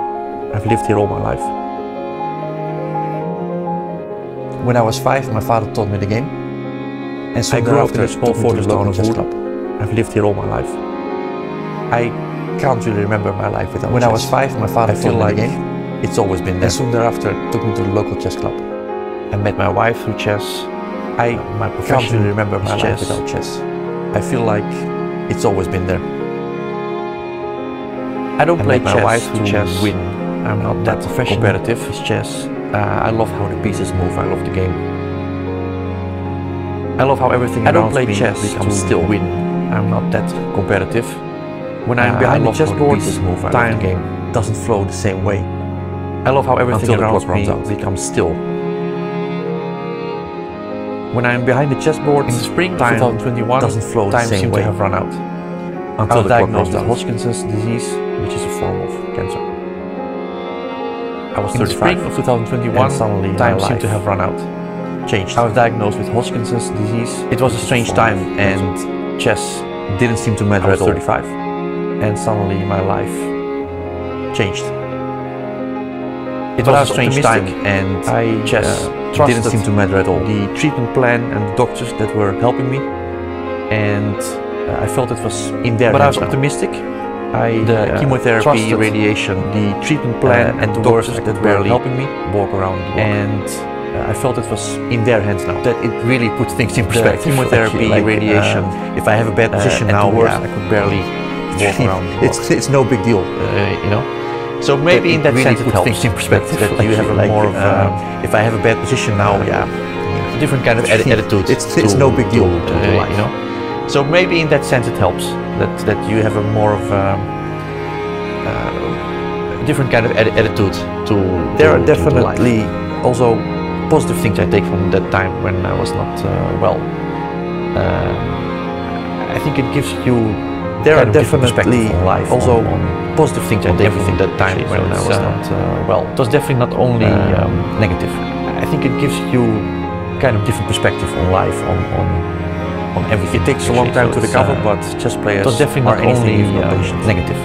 It, it was crazy because one month before the tournament in Vegas, I still had it my takes a long time to recover, but chess players are so anything. It was way too early actually to. It, it was crazy because one month I wanted to desperately before the tournament in Vegas. I still had my variation. I barely prepared for the games I, I, was just too tired. So I just was I wanted to play the games to to start playing. Dinner, I went back to my room. I wanted to sleep most of the time. be at that tournament. I had put that tournament. I barely prepared for the games. As I was just um, too tired. I just I wanted to play the games. I had dinner, went back to my room, slept most of the time. I ever played. I had put that tournament as an. Um, then at the end of the year, after um, 16 field attempts, I uh, became Dutch champion. Best tournament I ever played. And that was really the cherry on, on the cake. That was then at the end of the year, after uh, 16 field attempts, the feeling I, of uh, I'm back Dutch champion, and that was really the cherry on, on the cake. that was all those for me. I was failures, all those setbacks, they um, the feeling of never seem to matter now. What is important is that uh, I have a lot of chess All those ahead of me. failures, all those setbacks, they um, Never I always wait for the moment when What is uh, important I is wake up and uh, I have a lot of realize chess that I ahead of me. I don't really feel like looking at chess, but it just never happens. I always wait for the moment when uh, I wake up and I realize that I My uh, name today is I don't really feel like looking at chess, but it just never happens.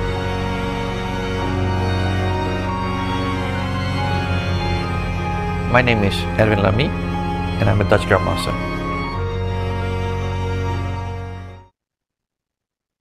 Welcome back, everybody. We are done with round number two of the GRENKE Chess Classic. And we can see Vincent Keymer and Magnus Carl. No, that's not Magnus. That is Maxima Shila Are deciding to play some blitz after they're done? Are they analyzing? Well, this looks like blitz. We've been informed that Magnus Carlsen has responsibilities talking to the Norwegian TV. Some people are out there chasing him, but it does look like getting mixed signals here. Um, so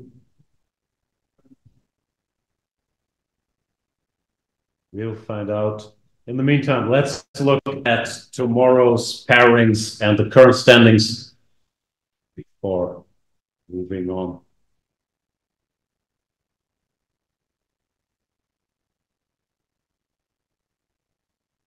Not getting any standings, so we will do it.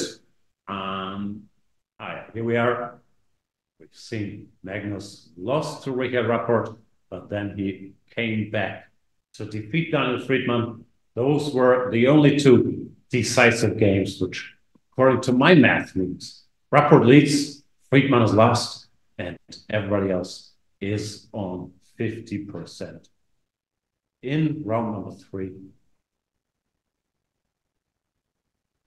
what do we have?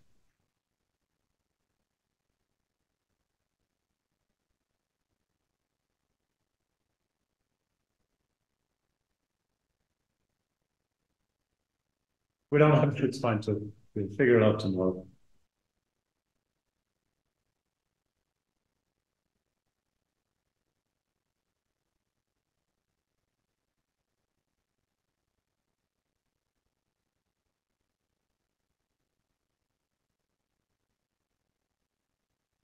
Here we see the playing hall of the open still abandoned, but the day after tomorrow, this will convert itself into the biggest chess tournament. Hmm.